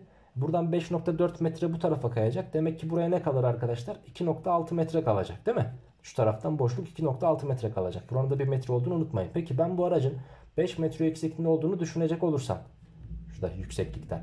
5 metre yükseklik acaba nereye geliyor? Buraya geçer mi geçmez mi? Bunu kontrol etmem lazım. O yüzden de şunu şu şekilde çekeceğim. Tamam mı? Çektim. Şurası alfa dereceydi ya hani. Heh. Şimdi bu alfa derece neymiş? Tanjantı 1.93'müş. Peki şurası kaç? 2.6 olmadı mı arkadaşlar şurası? 2.6. Şuradaki yükseklik 5'ten şuradaki 1'i çıkarırsam ben ne olur arkadaşlar? 5'ten 1'i çıkarırsam 4 olur. Şimdi bu alfanın 1.93 olduğunu biliyoruz. Bu da aracın şeyi olsun. Şöyle şurayı sileyim. Varsayalım ki araç buradan geçiyor gibi düşünelim. Şu da aracın açısı olsun. Tamam alfa tanjantını bulalım. 4 bölü 2.6 yani 40 bölü 26. Bu nedir arkadaşlar biliyor musunuz? Bu e, 1.5'tan daha küçük bir sayıdır. 1.5, 1.4, 1.3, 1.5 civarında bir sayıdır. Yani 1.93'ten küçüktür. Yani bu ne demek biliyor musunuz? Araç güvenli bir şekilde geçiyor. Yani bariyere değmiyor. Çünkü tanjantı daha küçük. Biliyorsunuz tanjant artan fonksiyon ya. Açı arttıkça tanjant da artar. Demek ki burada açı daha küçük kalıyormuş. Yani geçebiliyormuş. O halde birinci araç geçer diyeceğiz. Bu bir. Bunu anlamakta güçlük çektiysen ikinciyi mutlaka iyi dinle. Şimdi bak. Bu sefer aracımız bu sefer aracımız 4 metre uzunluğunda. Yani tam olarak şurada 0'a 0 yani tam 40 santimetre sınırıyla hareket ediyorsun. Burası eğer 4 metre ise 4 artı 0.4'ten 4.4 yapar. 8'den çıkarırsam bu sefer burası 2.6 değil 3.6 olur. Tamam mı? 3.6. Ve aracımızın uzunluğu bu sefer 7 metre. Geçememe ihtimalimiz yüksek olabilir yani. Bunu da şöyle yaptık. Belki bundan yüksek belki bundan alçak bilmiyorum ama bunun tanjantını hesaplamak istiyorsam 7'den 1'i çıkaracağım. Tamam mı? 7'den 1'i çıkaracağım. Burası 6'dır diyeceğim. 6 bölü 3.6 yani 60 bölü 36. Yani 10 bölü 6. 10 bölü 6 dediğim sayı da bir buçuğa çok yakın bir. Pardon bakalım. Ee, 2'ye yakın bir sayı ama 10 bölü 6. Bir bakalım 100'ü 60'a mı böleceğiz? Onu 6'ya bölelim. Bir kere var. 6 çıkardım 4. 40'ın içerisinde kaç defa var? 6. He, 1.66 diye gidiyor sanırım. Öyle mi gider bakalım. Ee, gibi 1.6 küsür bir sayı. 1.93'ten küçük mü? Küçük. O zaman yaşasın. İkinci araçta geçiyor buradan. Şimdi üçüncü araç için bakalım. Şunları silsem yeterli. Üçüncü aracım kaç metreymiş? Genişliği 6 metre. 6'ya 0.4 sağdaki boşluk payını da eklersem 6.4 yapar. 8'den 6.4'ü çıkarırsam bu sefer 3.6 değil 1.6 yapar burası. Ve aracın yüksekliği neydi? 5 metreydi. 5'ten şuradaki boşluğu da çıkarırsam şuradaki 1 metreyi 4 metre yapar. 4'ü 1.6'ya böldüğünüz zaman bir kere zaten 1.6'nın 2 katı 3,2'dir. Demek ki bu 2'den de büyük bir sayı yapıyor. Ve 1.93'ten yani tanjantımızdan daha büyük. Demek ki arkadaşlar bu araç burada kalmıyor da şu şekilde oluyor. Şu şekilde oluyor. Ve bu araç buradan bu arkadan görünme olsun aracın. Bu araç buradan bariyere çarpmadan geçemiyor arkadaşlar. Dolayısıyla 3. aracımız geçemez diyeceğiz. Hangileri geçer diye sormuştu. 2 ile 3 geçer. Değil pardon. 1 ile 2 geçer arkadaşlar. O kadar çözdük yanlış işaretledik. Sınavda bunu yapmayın sakın. Adana seçeneği bizim cevabımızdır diyebiliriz sevgili gençler. Dedik. Sesimizde kısılmasıyla beraber 60. soruya yani son soruya geçeceğiz şimdi beraber. Son soruya geçmeden önce de mutlaka ama mutlaka lütfen rica ediyorum. Kanala abone olup bildirimleri açıp bu videoyu da beğenmeyi unutmayın. Ee, kanala abone olmasanız bile mutlaka videoyu beğenmeyi unutmayın arkadaşlar. Ee, son sorumuzu çözeceğiz. Daha sonrasında inşallah vakit denk gelir de büyük ihtimal denk getireceğim ama vakit denk gelir de arkadaşlar şöyle güzel bir boşluk bulabilirsek e, sizler için bir moral motivasyon videosu sınavdan önce sınavda ne yapılmalı kimler e, nerelere kadar geldi nasıl bir eksiğiniz var hangileriniz hangi konularımız tam hangileri eksik onları bir görelim konuşalım muhabbet edelim sınavda heyecanınızı yitirmeniz için heyecanınızı e, baskılamanız için hangi taktikler uygulanabilir ben sınava girdiğimde ne yaptım? Sınav nasıl geçti? Sınavda neler yaptım? Sınavdan çıktığımda ağladım mı ağlamadım mı? E, ağlamama rağmen matematiği full çektim mi çekmedim mi? Bunları bir konuşalım sizle arkadaşlar. E, mutlaka o canlı yayında da görüşelim dedik ve son sorumuza geçtik. B bir gerçek sayı. Fx de x kare artı bx artı kosinüs 8 pi bölü 7 fonksiyonunun grafiği için hangisi, hangisi doğrudur? Şimdi burada İkinci dereceden denklem sorusu gibi görünmesine rağmen şuradaki kosinüs bizim trigonometri sorusu, sorusu mu lan bu diye kafamızı kurcalayan bir soru. Aslında ikisi de. Ama sadece trigonometri bence bu soruda %10'luk bir diliminde yer alıyor. Biz sadece şunu yapacağız. Kosinüs 8 pi bölü 7 negatif mi pozitif mi? Yoksa sıfır mı? Bunu merak edeceğiz. 8 pi bölü 7 dediğimiz açı pi'den büyüktür. 3 pi bölü 2'den de küçüktür. Dolayısıyla 3. bölgededir arkadaşlar ve 3. bölgede kosinüs negatiftir. Yani burası negatifmiş. O halde ben bunu x kare artı bx eksi 7 de yazsam olur artık. Sıkıntı yok. Negatif bir şey sonuçta. Peki deltasını merak ediyoruz. Delta b kare eksi 4 çarpı 1 çarpı eksi bir sayı. 7 demiştik ya oraya. Eksi 1 de yazsan artık. Eksi 0.01 de yazsan fark etmez. Eksi ile eksi gider ve artı olur. Burası zaten pozitif. Burası da pozitif deltası sıfırdan büyük. Yani iki tane kök var. iki tane kök var. Ve bu iki kökün çarpımı negatif. Bu ne demek oluyor biliyor musunuz? Bir kök pozitifken diğer kök negatif olması lazım. Yani ben bunu x eksenine dökersem x ekseninin pozitif tarafında bir tane kökü var. Negatif tarafında bir tane kökü var demek. Yani cevabımız Ceyhan demektir sevgili gençler. Bu soruyu da böylelikle bitirmiş olduk. Evet sayfamız artık daha fazla aşağı inmiyor. Bu kadardı. 60 tane sizler için güzel soru çözdük. Umarım faydası olmuştur diyeceğim ama olmaması imkanı yok arkadaşlar. Gerçekten ee, seçerek aldım soruları buraya. Gerçekten güzel sorular vardı. Gerçekten yorum gücü fazla olan sorulardı. Mesela bu soruyu inanılmaz güzeldi arkadaşlar. Bu şu soru çok güzeldi. Ee, bunun gibi yine onlarca soru çözdük bugün. Umarım sizlere çok çok çok faydası olmuştur. Sınavınıza 5-6 gün kala e, mutlaka ama mutlaka izleyin. İzlemeden de sınava girmeyin diyelim. E, ve videoyu artık noktalayalım. Canlı yayında görüşürüz diyelim. Hoşça kalın. Sağlıcakla kalın. Sınavınızda inşallah ama inşallah istediğiniz yeri kazanın diyelim. Bir sonraki videoda görüşürüz. Hoşça kalın, sağlıcakla kalın ve bol bol matematik çalışmayı da unutmayın.